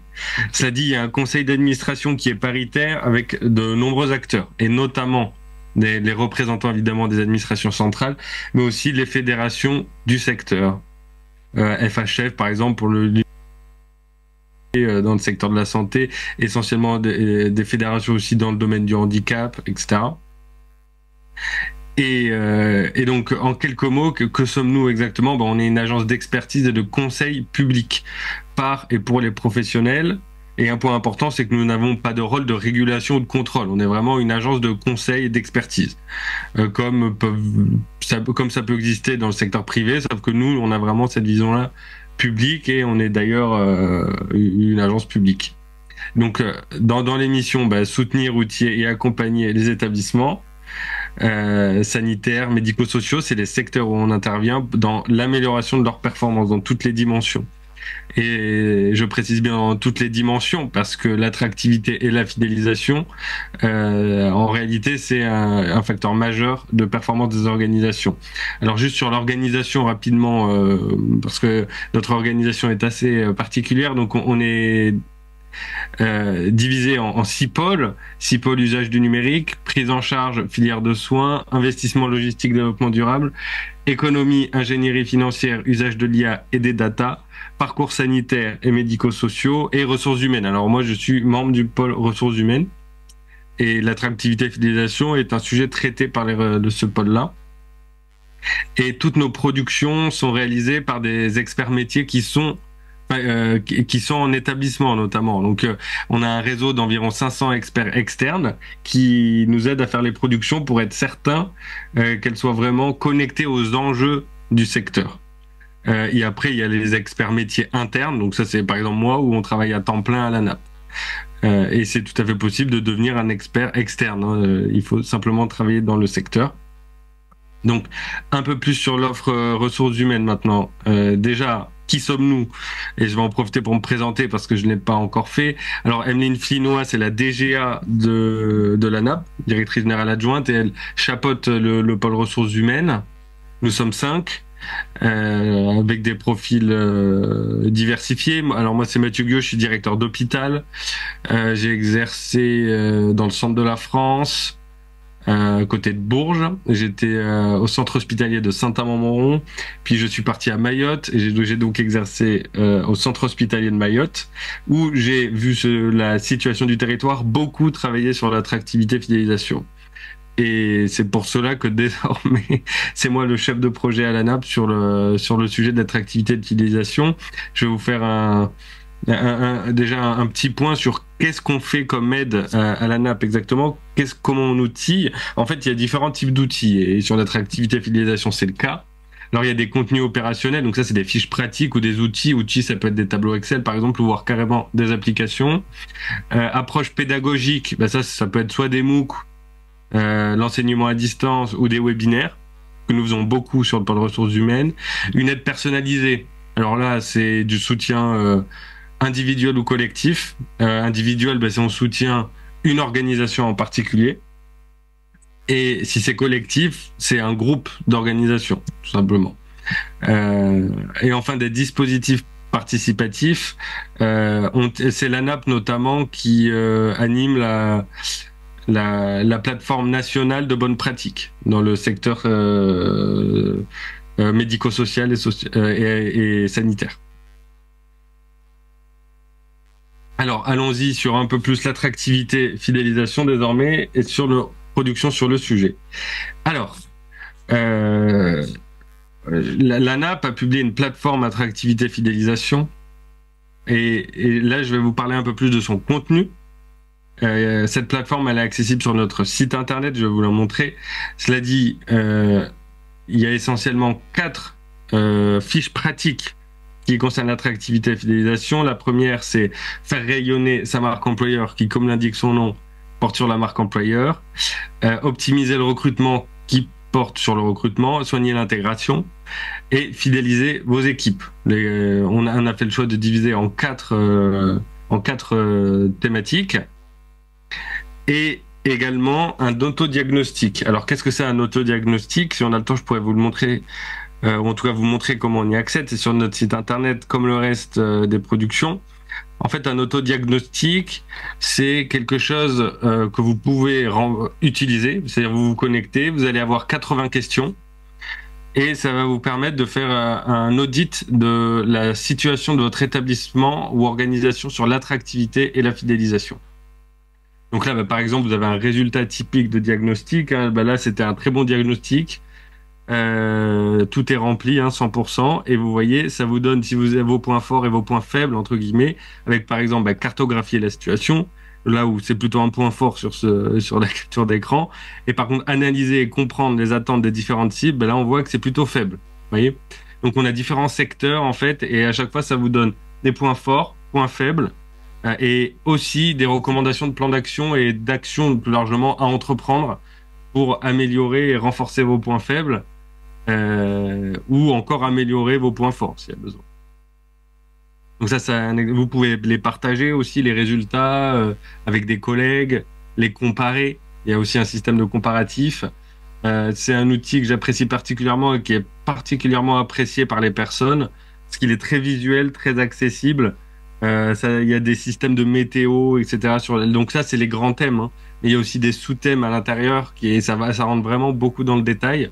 Et, l'autodiagnostic offre vraiment une possibilité de bien se situer euh, sur la maturité de sa politique attractivité fidélisation. Autre point clé euh, qui est souvent sous-estimé, la satisfaction des professionnels. Euh, en fait, c'est un sujet assez récurrent dans les établissements et qui impacte la fidélisation, naturellement, voire même dans certains cas l'attractivité. Euh, du coup, on a publié un panorama des solutions pour mesurer la satisfaction des salariés. Parce que assez rapidement, on observe que pour être efficace sur la fidélisation, il faut vraiment être outillé euh, pour mesurer le, le niveau de satisfaction des salariés. Pourquoi ils ne sont pas satisfaits ou pourquoi ils sont satisfaits et avec quelle intensité euh, et c'est comme ça qu'on identifie les problématiques et qu'on peut résoudre les problèmes. Qui donc mine votre fidélisation, parce qu'en réalité, la fidélisation, euh, c'est simplement une présentation des outils. On, travaille également beaucoup, on fait beaucoup de cours sur la fidélisation. Un des éléments clés sur la fidélisation, c'est très clairement euh, ce qui porte sur la satisfaction. Et, et donc là, cet outil, pour nous, il nous semble important parce que il faut que les établissements ou, ou, toutes les organisations soient vraiment équipés pour mesurer cette satisfaction et surtout identifier le détail de la problématique. Euh, traditionnellement, dans notre secteur, on le fait plutôt de manière euh, officieuse ou en tout cas de pas de manière formalisée et méthodique. Euh, cela dit, les, les organisations qui arrivent à travailler sur cette notion de satisfaction des professionnels sont ceux qui ont le plus de résultats en termes de fidélisation. Et les impacts sont vraiment extrêmement importants, avec des baisses très fortes des turnovers hein, de manière générale, qui a quand même un impact, euh, qui a un impact majeur sur les organisations, sur la qualité du, travail fourni. Euh, et, et en tout cas, voilà, ça je mets vraiment, un, euh, vous voyez, j'insiste un peu là-dessus aujourd'hui, parce que c'est vraiment un point clé qui est assez sous-estimé de manière générale dans les organisations que nous visitons, puisqu'on fait aussi beaucoup d'appui terrain. Et dans ces appuis terrain, on peut voir effectivement où en sont précisément les établissements. Et c'est vrai que là-dessus, c'est un point faible de quasiment tous les établissements qu'on visite. Euh, pas assez d'études sur la satisfaction des professionnels. Alors là, c'est une petite euh, présentation euh, plus en détail hein, des, différents, des différentes pochettes et sujets que j'ai présentés précédemment. Donc notamment bah, sur la marque employeur, bah, on propose une méthodologie pour développer sa marque employeur en trois étapes clés les leviers RH. Sur le recrutement, on propose une, fiche pratique sur les entretiens de recrutement. Sur l'intégration, bah, des checklists d'intégration, kits de bienvenue et aussi des évaluations de la période d'intégration, ce qui est capital pour formaliser aussi euh, celle-ci. Et enfin, sur la fidélisation, bah, les entretiens de sortie, plan de mobilité et formation par la stimulation, c'est trois fiches. par la simulation, pardon. Euh, et là, moi, je mets un, petit focus sur les entretiens de sortie, parce que c'est quelque chose qui n'est pas beaucoup fait. Euh, alors, qu'est-ce que c'est un entretien de sortie? C'est tout simplement faire un entretien lorsqu'une personne quitte votre organisation. Alors, ça peut être euh, soit une démission ou, une mutation ou un départ à la retraite, peu importe le départ. L'idée, c'est que il est impératif, enfin en tout cas on le recommande très intensément de faire des entretiens avec toute personne qui quitte l'organisation. Alors soit un entretien euh, complet ou alors un questionnaire au choix. Et nous, on vous propose sur ce sujet-là bah, des outils qui sont déjà prêts en fait. Hein. Donc là, c'est un, entretien de sortie type que vous pouvez utiliser pour vos propres entretiens de sortie.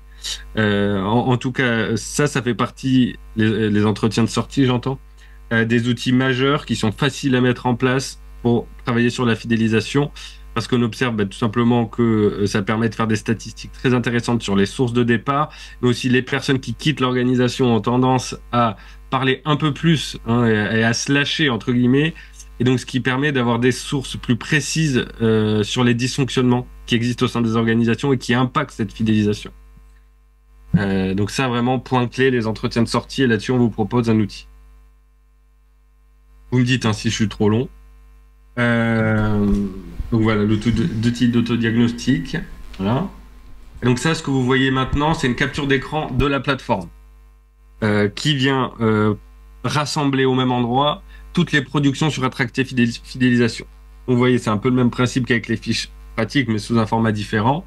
Ben, vous avez là, euh, un, construire sa marque employeur, deux, recruter les candidats, trois, intégrer les nouveaux collaborateurs et quatre, fidéliser les collaborateurs. Et en fait, à chaque fois, vous pouvez cliquer partout. Hein. Là, on le voit pas parce que c'est une capture d'écran. Et vous pouvez cliquer, vous naviguer, vous téléchargez les fichiers.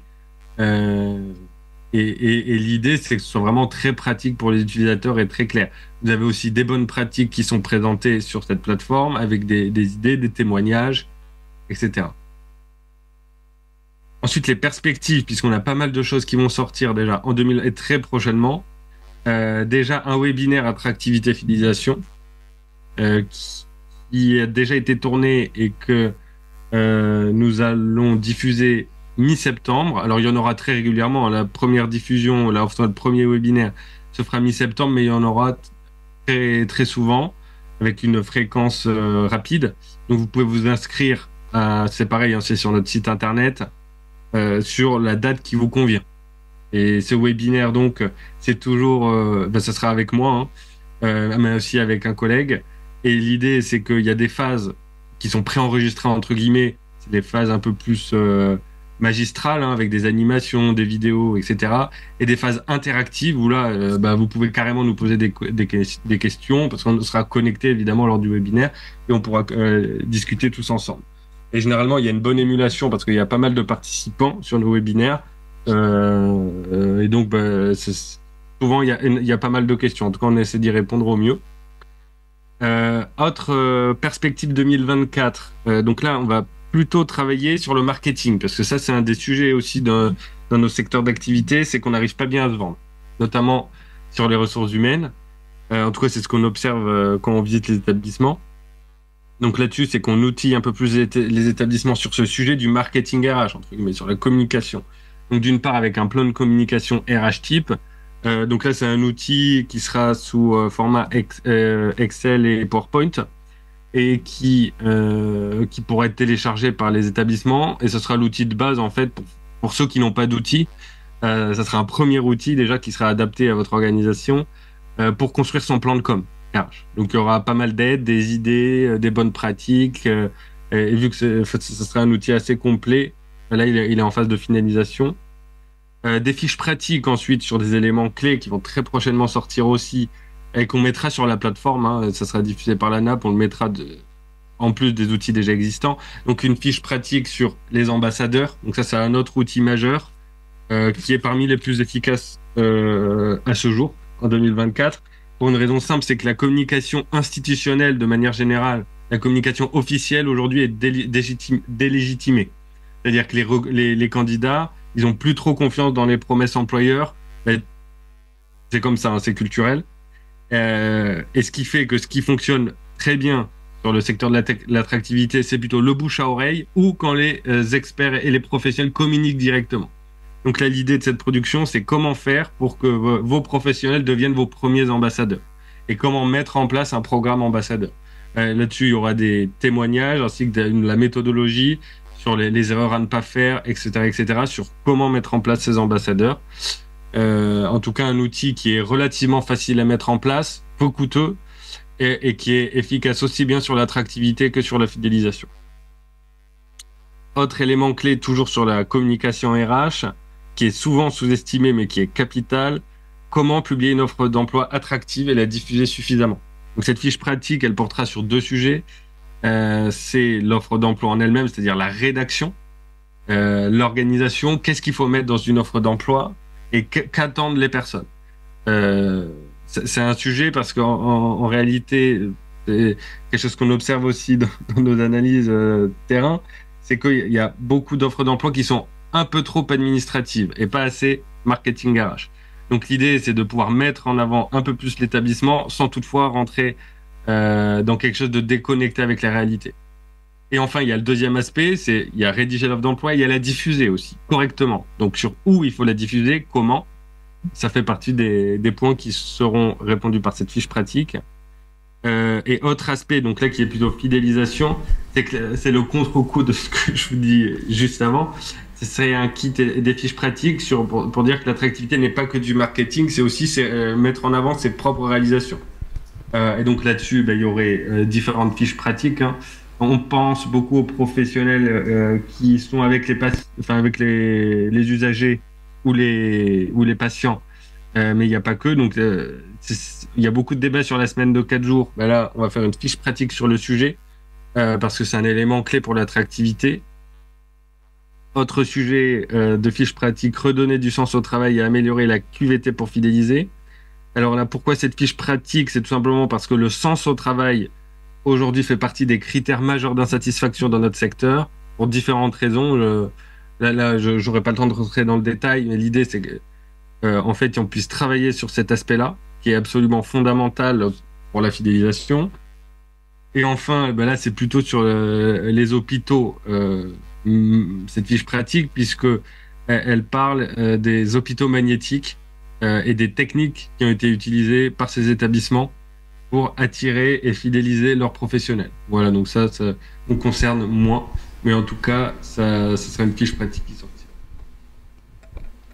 Autre aspect clé, donc, clé qui est en lien avec le management euh, et qui est plutôt sur la fidélisation, euh, parce qu'en fait, ben, évidemment, le management, ça, ça fait C'est un autre critère clé de la fidélisation, voire même le premier, hein, euh, puisque la littérature scientifique montre que euh, généralement la source de départ d'un collaborateur, c'est le manager, ou en tout cas le management.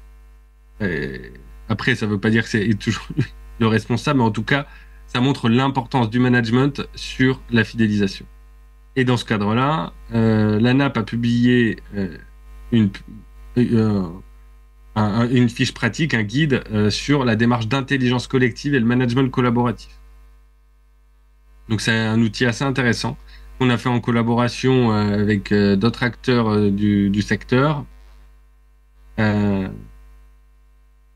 et ah. Et ensuite, je voulais vous montrer l'autodiagnostic management.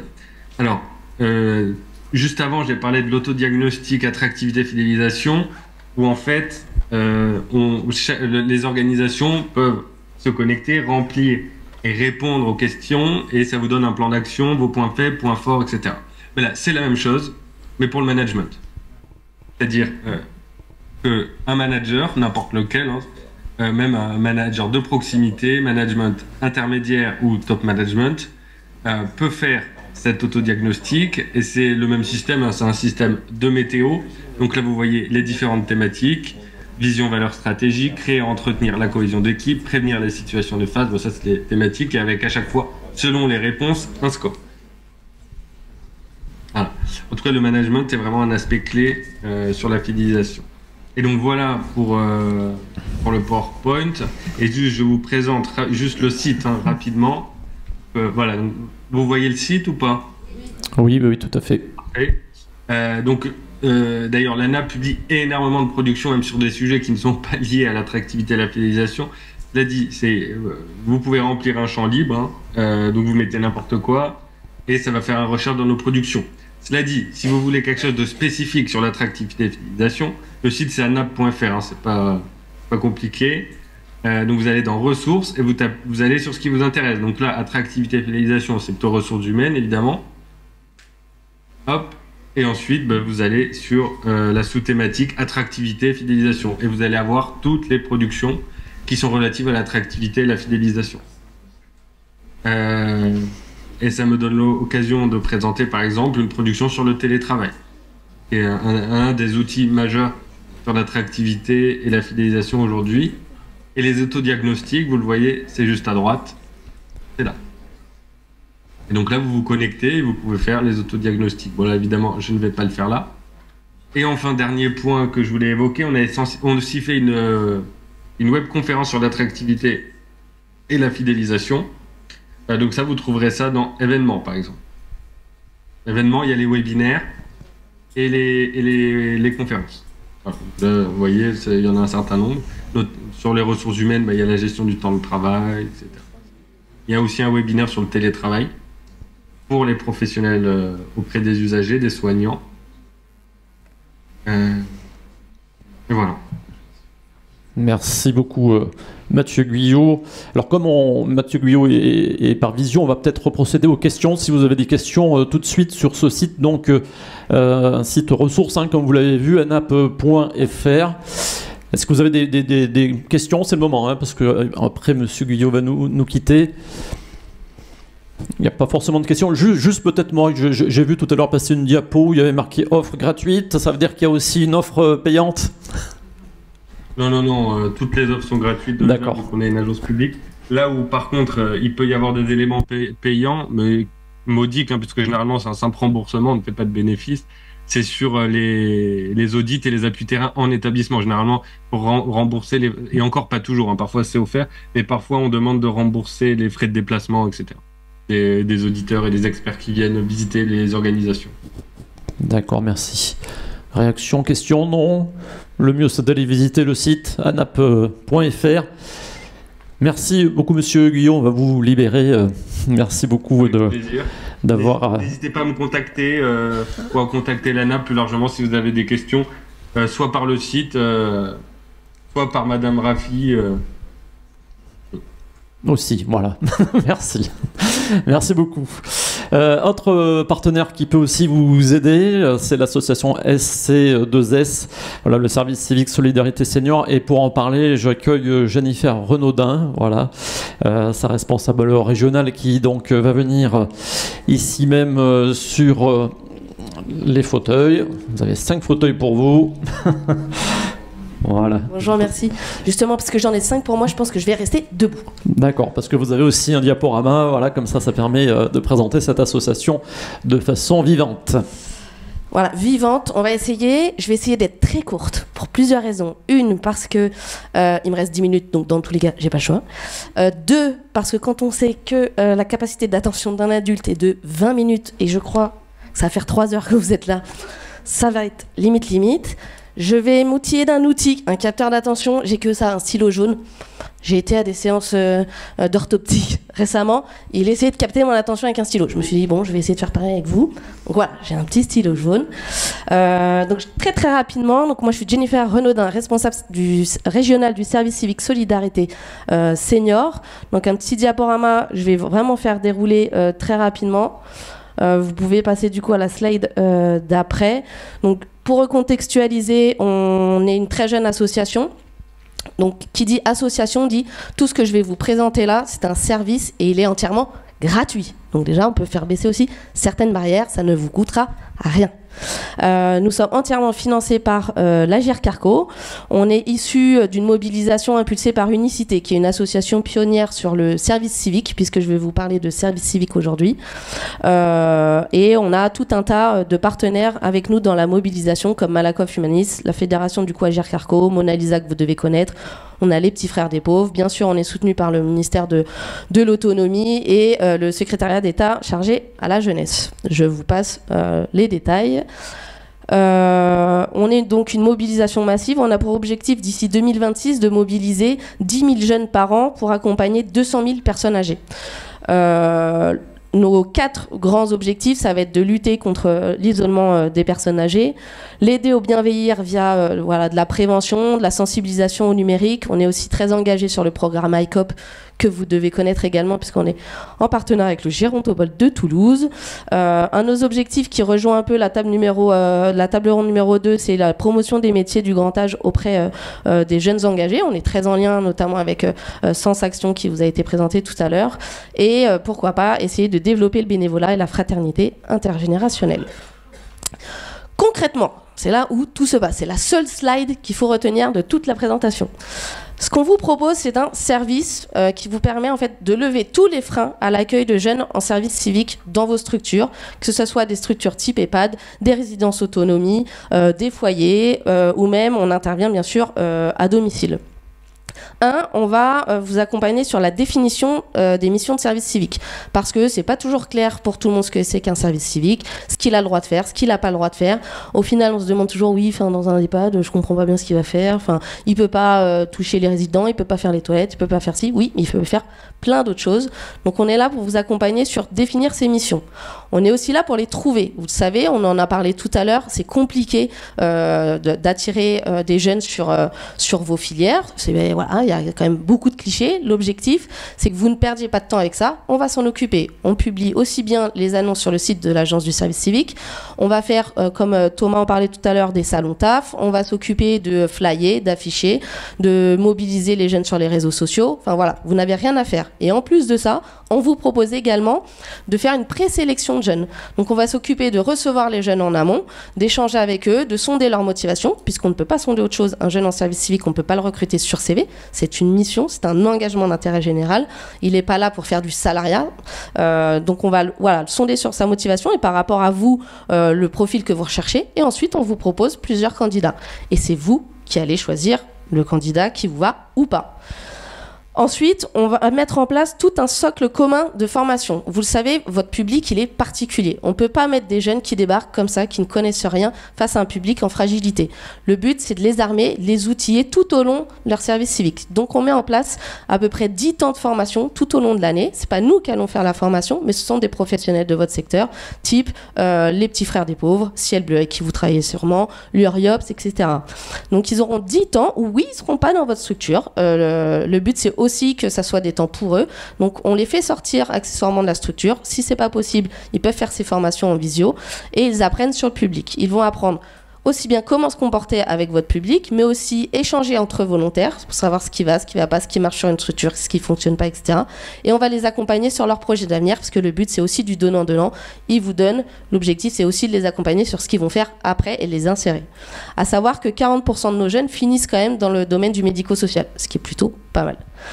Euh, on a également un possible soutien financier aux structures pour développer de nouvelles missions euh, et diversifier les profils de jeunes. Euh, C'est-à-dire que pour certaines structures, si vraiment, vous savez, moi je demande pas d'argent, mais clairement les jeunes, il faut leur payer une indemnité. Il y a une partie, les trois quarts qui sont prises en charge par l'État, à peu près 510 euros par mois qui est pris en charge par l'État, et il y a un reste à charge de la structure d'accueil de 114 euros qu'il faut verser aux jeunes. Là, on peut vous, si ça vous met en difficulté que de verser ces 114 euros par mois, on peut vous proposer d'abonder à hauteur de 60 euros par mois. Donc on peut aussi vous accompagner financièrement sur la prise en charge du service civique. Et ensuite, pour certaines, euh, certaines structures, on peut aussi vous aider à éditer les contrats. Parce que pour recevoir des jeunes, il faut avoir un agrément de service civique. Certains d'entre vous en ont. Quand vous êtes adhérent à la FEAP, à la FHF ou autre, vous pouvez dépendre de leur agrément de service civique et c'est eux qui vont édicter les contrats pour vous. Si vous n'êtes pas dépendant euh, d'un service comme celui- celui-ci, on peut, nous, vous prêter notre agrément et dans ce cas-là, c'est nous qui allons rédiger les contrats et encore une fois, vous n'aurez rien à faire. Euh, on va équiper les jeunes de tenues, là, comme vous pouvez le voir sur la photo, euh, logotées en jaune, comme mon stylo. Le but, c'est qu'ils soient pas confondus avec du personnel soignant. Euh, c'est pas, pas pas un travailleur, c'est pas un salarié, c'est bien un jeune en service civique. Il faut que les personnes âgées puissent l'identifier. Pareil à domicile, l'objectif c'est de casser cette barrière. Il y a aussi des préjugés face aux jeunes. Quand ils arrivent avec le suite jaune, voilà, c'est toujours plus, euh, plus facile d'ouvrir sa porte. Ensuite, c'est aussi la participation à une mobilisation nationale, puisqu'on mène chaque année une mesure d'impact, d'où le chiffre que je vous ai dit tout à l'heure, 40% de nos jeunes qui sortent du service civique chaque année euh, finissent dans le, dans le secteur du médico-social. Bah, c'est grâce à cette mesure d'impact-là, justement, euh, qu'on le sait. On fait participer à cette mesure d'impact les professionnels aussi qui accueillent euh, les jeunes. Donc on pourrait aussi être en capacité de vous donner des chiffres concernant votre structure, votre département et la région Occitanie plus largement. Et ensuite, localement, on essaye aussi euh, d'organiser bah, clairement ce type d'événement-là que vous avez aujourd'hui. Donc on ne proposera pas en Aveyron parce que Madame Raffi fait un travail euh, formidable. Mais sur certains départements, euh, des temps comme celui-ci, il n'y en a pas. Donc on a été en charge de l'organiser, par exemple, sur le département des Pyrénées-Orientales. Mais on peut proposer d'autres types d'événements, encore une fois, gratuitement, pour essayer de créer un peu du réseau entre professionnels du secteur. Ça, ce sont, je vais passer rapidement les différentes modalités. Comme je vous disais, pour accueillir des jeunes en service civique, il faut un agrément. Quand vous en avez déjà un, pour nous, vous êtes une modalité 1. Donc, ça va être euh, soit votre réseau d'adhésion, soit vous-même de rédiger les contrats. Si vous ne, dépendez pas d'un agrément, pardon, ce sera nous qui, euh, allons nous occuper d'éditer euh, les contrats des jeunes, tout simplement. On peut passer à la slide d'après. Et là, c'est pour juste vous donner en quelques chiffres où on en est actuellement sur l'Aveyron. Donc, comme je vous le disais, on est jeune asso. On est là depuis 2021. Donc, peu de développement encore sur l'Aveyron. On n'a que 16 structures partenaires. Certains sont dans la salle. Euh, je, vois les pas de Sainte-Anne euh, au fond. Euh, on propose actuellement 32 missions et 10 jeunes sont encore en mission à l'heure actuelle. Souvent, on marche quand même en année scolaire. Les jeunes gardent un peu ce rythme-là. Donc là, on est plutôt en fin d'année. Donc, on a seulement encore 10 jeunes euh, sur le terrain euh, actuellement. Euh, et euh, 260 personnes âgées ont été touchées cette année par le service civique solidarité senior en Aveyron. Ça, ici, vous avez des petits verbatims qui sont issus justement de notre mesure d'impact social qui est sortie très récemment, vous pourrez retrouver sur notre site internet. Là, je vous ai mis juste quelques exemples de missions. Si c'est pas très concret pour vous, les jeunes, ce qu'ils peuvent faire, c'est soit accompagner vos animateurs, euh, les animateurs euh, en EHPAD, et proposer euh, des, animations qui leur collent peut-être plus à la peau. Des animations, s'ils savent faire de la musique, des animations guitare, des animations peinture. Enfin voilà, ils peuvent vous aider sur l'organisation des lotos, etc. Mais ils peuvent notamment en EHPAD, et c'est ça la, la vraie plus-value, c'est faire des visites de convivialité en chambre. Vos personnels n'ont pas forcément le temps de le faire, de prendre le temps d'aller voir chaque résident un par et de discuter avec, euh, avec lui dans la chambre. Bah, les jeunes en service civique, clairement, c'est des choses qu'ils peuvent faire. Ils peuvent les emmener en balade autour de l'EHPAD. Euh, ils peuvent recréer du lien avec les familles euh, en organisant des, des WhatsApp des, ou d'autres visios, parce qu'on met aussi à disposition des plaquettes numériques. Ils peuvent faire, voilà, là je vous ai mis un, exemple très concret, c'est un exemple aveyronais, l'édition d'un livre de recettes où on avait des jeunes qui allaient au domicile de bénéficiaires et l'objectif c'était de, de faire des recettes qui, qui rappelaient des souvenirs aux bénéficiaires et ensuite de créer un petit, un, petit livre. On, voilà, on est en lien avec ICOP, donc les jeunes peuvent également euh, passer le step one d'ICOP avec, euh, avec les personnes âgées, les aider à télécharger ICOP Monitor et ensuite à faire passer euh, le premier test. Et on est très en lien aussi avec Anisen. Donc si vous avez les tablettes Anisen, clairement les jeunes peuvent aider les personnes âgées à, à prendre en main le, le pad game. Et il y a également d'autres nouvelles fonctionnalités qu'Anisen euh, va sortir prochainement. Et du coup, on est toujours euh, en lien avec eux où euh, ils vous permettent d'avoir un accès gratuit euh, sur la première ou la deuxième année. Et on peut aider justement la prise en main des différents logiciels qu'Anisen met en place. Et je crois que j'ai tenu moins de 10 minutes. Merci beaucoup pour euh, cette présentation très dynamique. Vous avez vu que là, il y a une vraie solution pour dynamiser euh, euh, les équipes, pour leur donner un, peu d'air également. Alors, si vous avez des questions, c'est maintenant, allez-y sur voilà, des précisions, peut-être sur ce service civique. Non, pas de questions particulières. Alors vous avez parlé des avantages, mais euh, l'avantage aussi, c'est de permettre aux jeunes de découvrir ces métiers-là et de les fidéliser après. Exactement, on a plusieurs exemples, on a plusieurs jeunes qui ont été embauchés euh, directement dans les pattes sur lesquelles ils faisaient leur service civique, alors soit sur du long terme, soit sur des missions d'été, puisqu'on sait aussi que vous recherchez euh, du, personnel sur, euh, sur l'été. Donc ça, c'est des choses qui se font. Il y a des jeunes qui ont repris les études aussi à la suite de ça. Il y a des jeunes qui ont pu effectuer des stages, c'est à la marge, mais on, permet ça aussi d'effectuer des stages pour aller découvrir les différents métiers dans la structure. Ça marche plutôt bien. Ça permet une ouverture en fait sur les missions. Ce sont des missions qui vont de 6 à 8 mois entre 24 et 28 heures semaine. Donc clairement, c'est aussi des portes ouvertes pendant 6 à 8 mois sur vos établissements et donner à voir aux jeunes, casser les préjugés euh, qu'il peut y avoir sur les EHPAD, type les EHPAD c'est des mouroirs, non, c'est un vrai lieu de vie, voilà tout ce qui s'y passe et voilà tout ce qu'on peut faire. Et, euh, clairement, voilà, c'est pour ça que je, je retiens qu'un chiffre parce que j'ai pas de mémoire, mais c'est ce fameux 40% de jeunes qui au final terminent dans le médico-social après leur service civique. C'est juste énorme. Donc ça fonctionne. Oui, oui c'est une vraie solution, euh, en effet. Question, pas de questions? Alors allez-y, oui, sur, vous travaillez avec la mission locale? Euh, Est-ce que vous travaillez avec la mission locale Je vois que... Oui, on travaille avec tous les prescripteurs jeunesse, donc euh, notamment sur le, territoire, on est avec les, missions locales, on est avec Pôle Emploi, on est également avec l'information jeunesse, on est en lien avec toutes les associations d'éducation populaire, type la Ligue de l'enseignement, la FEV, enfin voilà, on travaille avec la SDJES, c'est-à-dire les, services de l'État qui pilotent le service civique euh, à l'échelle du département. Euh, voilà, on est aussi présent sur le volet senior que sur le volet jeunesse. D'autres questions Sinon, après, vous pourrez euh, discuter autour du buffet déjeunatoire avec euh, Jennifer Renaudin. merci euh, beaucoup. merci bien sûr à tous nos interlocuteurs parce qu'on a presque terminé. Je vais donner le micro à Séverine Raffi, la chef de projet de la plateforme, voilà, qui, juste pour terminer, en guise de, conclusion de cette matinée, parlait ben, des, voilà, des actions qui sont prévues pour le second euh, semestre oui, donc oui, ce sera rapide. C'est juste, on a déjà évoqué tous ces sujets euh, ben, pendant cette matinée. C'est la nouvelle édition, effectivement, euh, de la Semaine des métiers de l'autonomie, puisque les, membres du, groupe de travail avec qui nous, travaillons sur ces sujets de communication a, souhaité qu'elle puisse être conduite. Donc cette année, ça sera de nouveau juste après les vacances de la Toussaint, du 4 au 8 novembre 2024. Euh, donc voilà, on en a parlé tout à l'heure, j'en dis pas plus.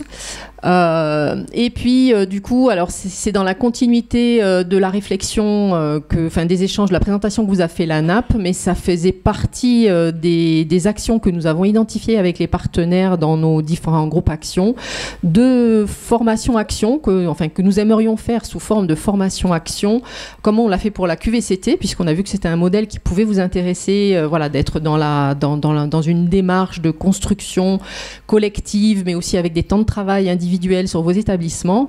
Donc avec deux pistes de travail sur ces formations actions, un atelier euh, qui serait plutôt sur le sujet de la marque, euh, des ateliers qui seraient sur le sujet de la marque employeur. Euh, bon, donc j'en dis pas trop plus puisque tout à l'heure donc Monsieur Guyot vous en a parlé. Donc, mais la, question c'est comment vous aider avec les outils de la NAP aussi, en s'appuyant sur les outils de la NAP et d'ailleurs peut-être avec la NAP aussi. J'attends la réponse de savoir s'ils sont prêts à s'investir sur notre département. Sinon, on trouvera d'autres d'autres intervenants. Euh, mais euh, du coup, l'idée, c'est ça, c'est de vous aider à construire cet outil-là et à mettre le pied dans, dans, ce sujet de la marque employeur à travers euh, trois ateliers qui seront, qui vous permettront d'avancer sur ce sujet.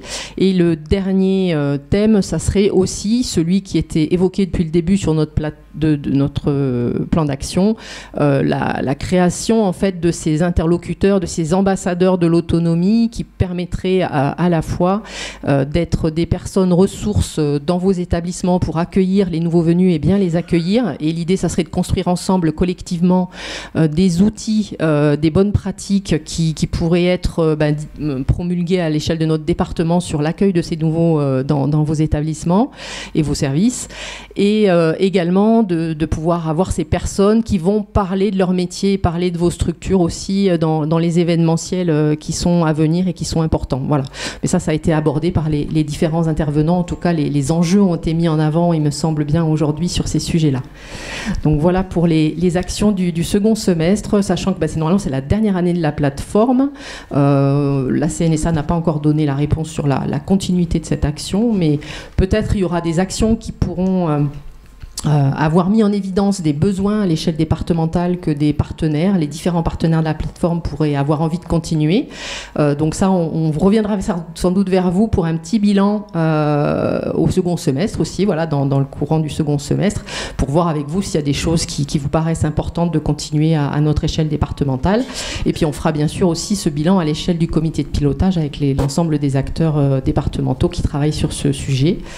Euh, quoi dire encore C'est, je pense que c'est à peu près tout. En tout cas, je veux quand même remercier tous les participants et les intervenants qui, qui ont vraiment donné beaucoup de leur temps pour, pour euh, organiser cette matinée, euh, qui me semble riche et, et, intéressante. En tout cas, de, de mon côté, j'ai appris plein de choses et, et, et je vous en remercie. Merci beaucoup Séverine Rafi. Vous vouliez terminer par un petit mot, un petit remerciement je crois. Oui, un petit mot euh, assez personnel mais collectif. Euh, environ une fois par mois, on se voit dans notre petit comité territorial avec Eric Appel, euh, Madame Filas qui n'est pas là aujourd'hui, et surtout avec Séverine aussi, parce que tout ça, ça se fait pas tout seul. Donc, euh, puisque tout le monde est là, on voulait saluer tout le travail que tu fais. Voilà, parce que tout ça, ça se traduit par euh, des notes, des bilans, des conventions, parfois compliquées avec tous nos partenaires, et ça se fait pas tout seul, on te le dit, des fois je te le dis, heureusement que tu es là pour faire le travail. Voilà, on voulait le saluer euh, devant tout le monde.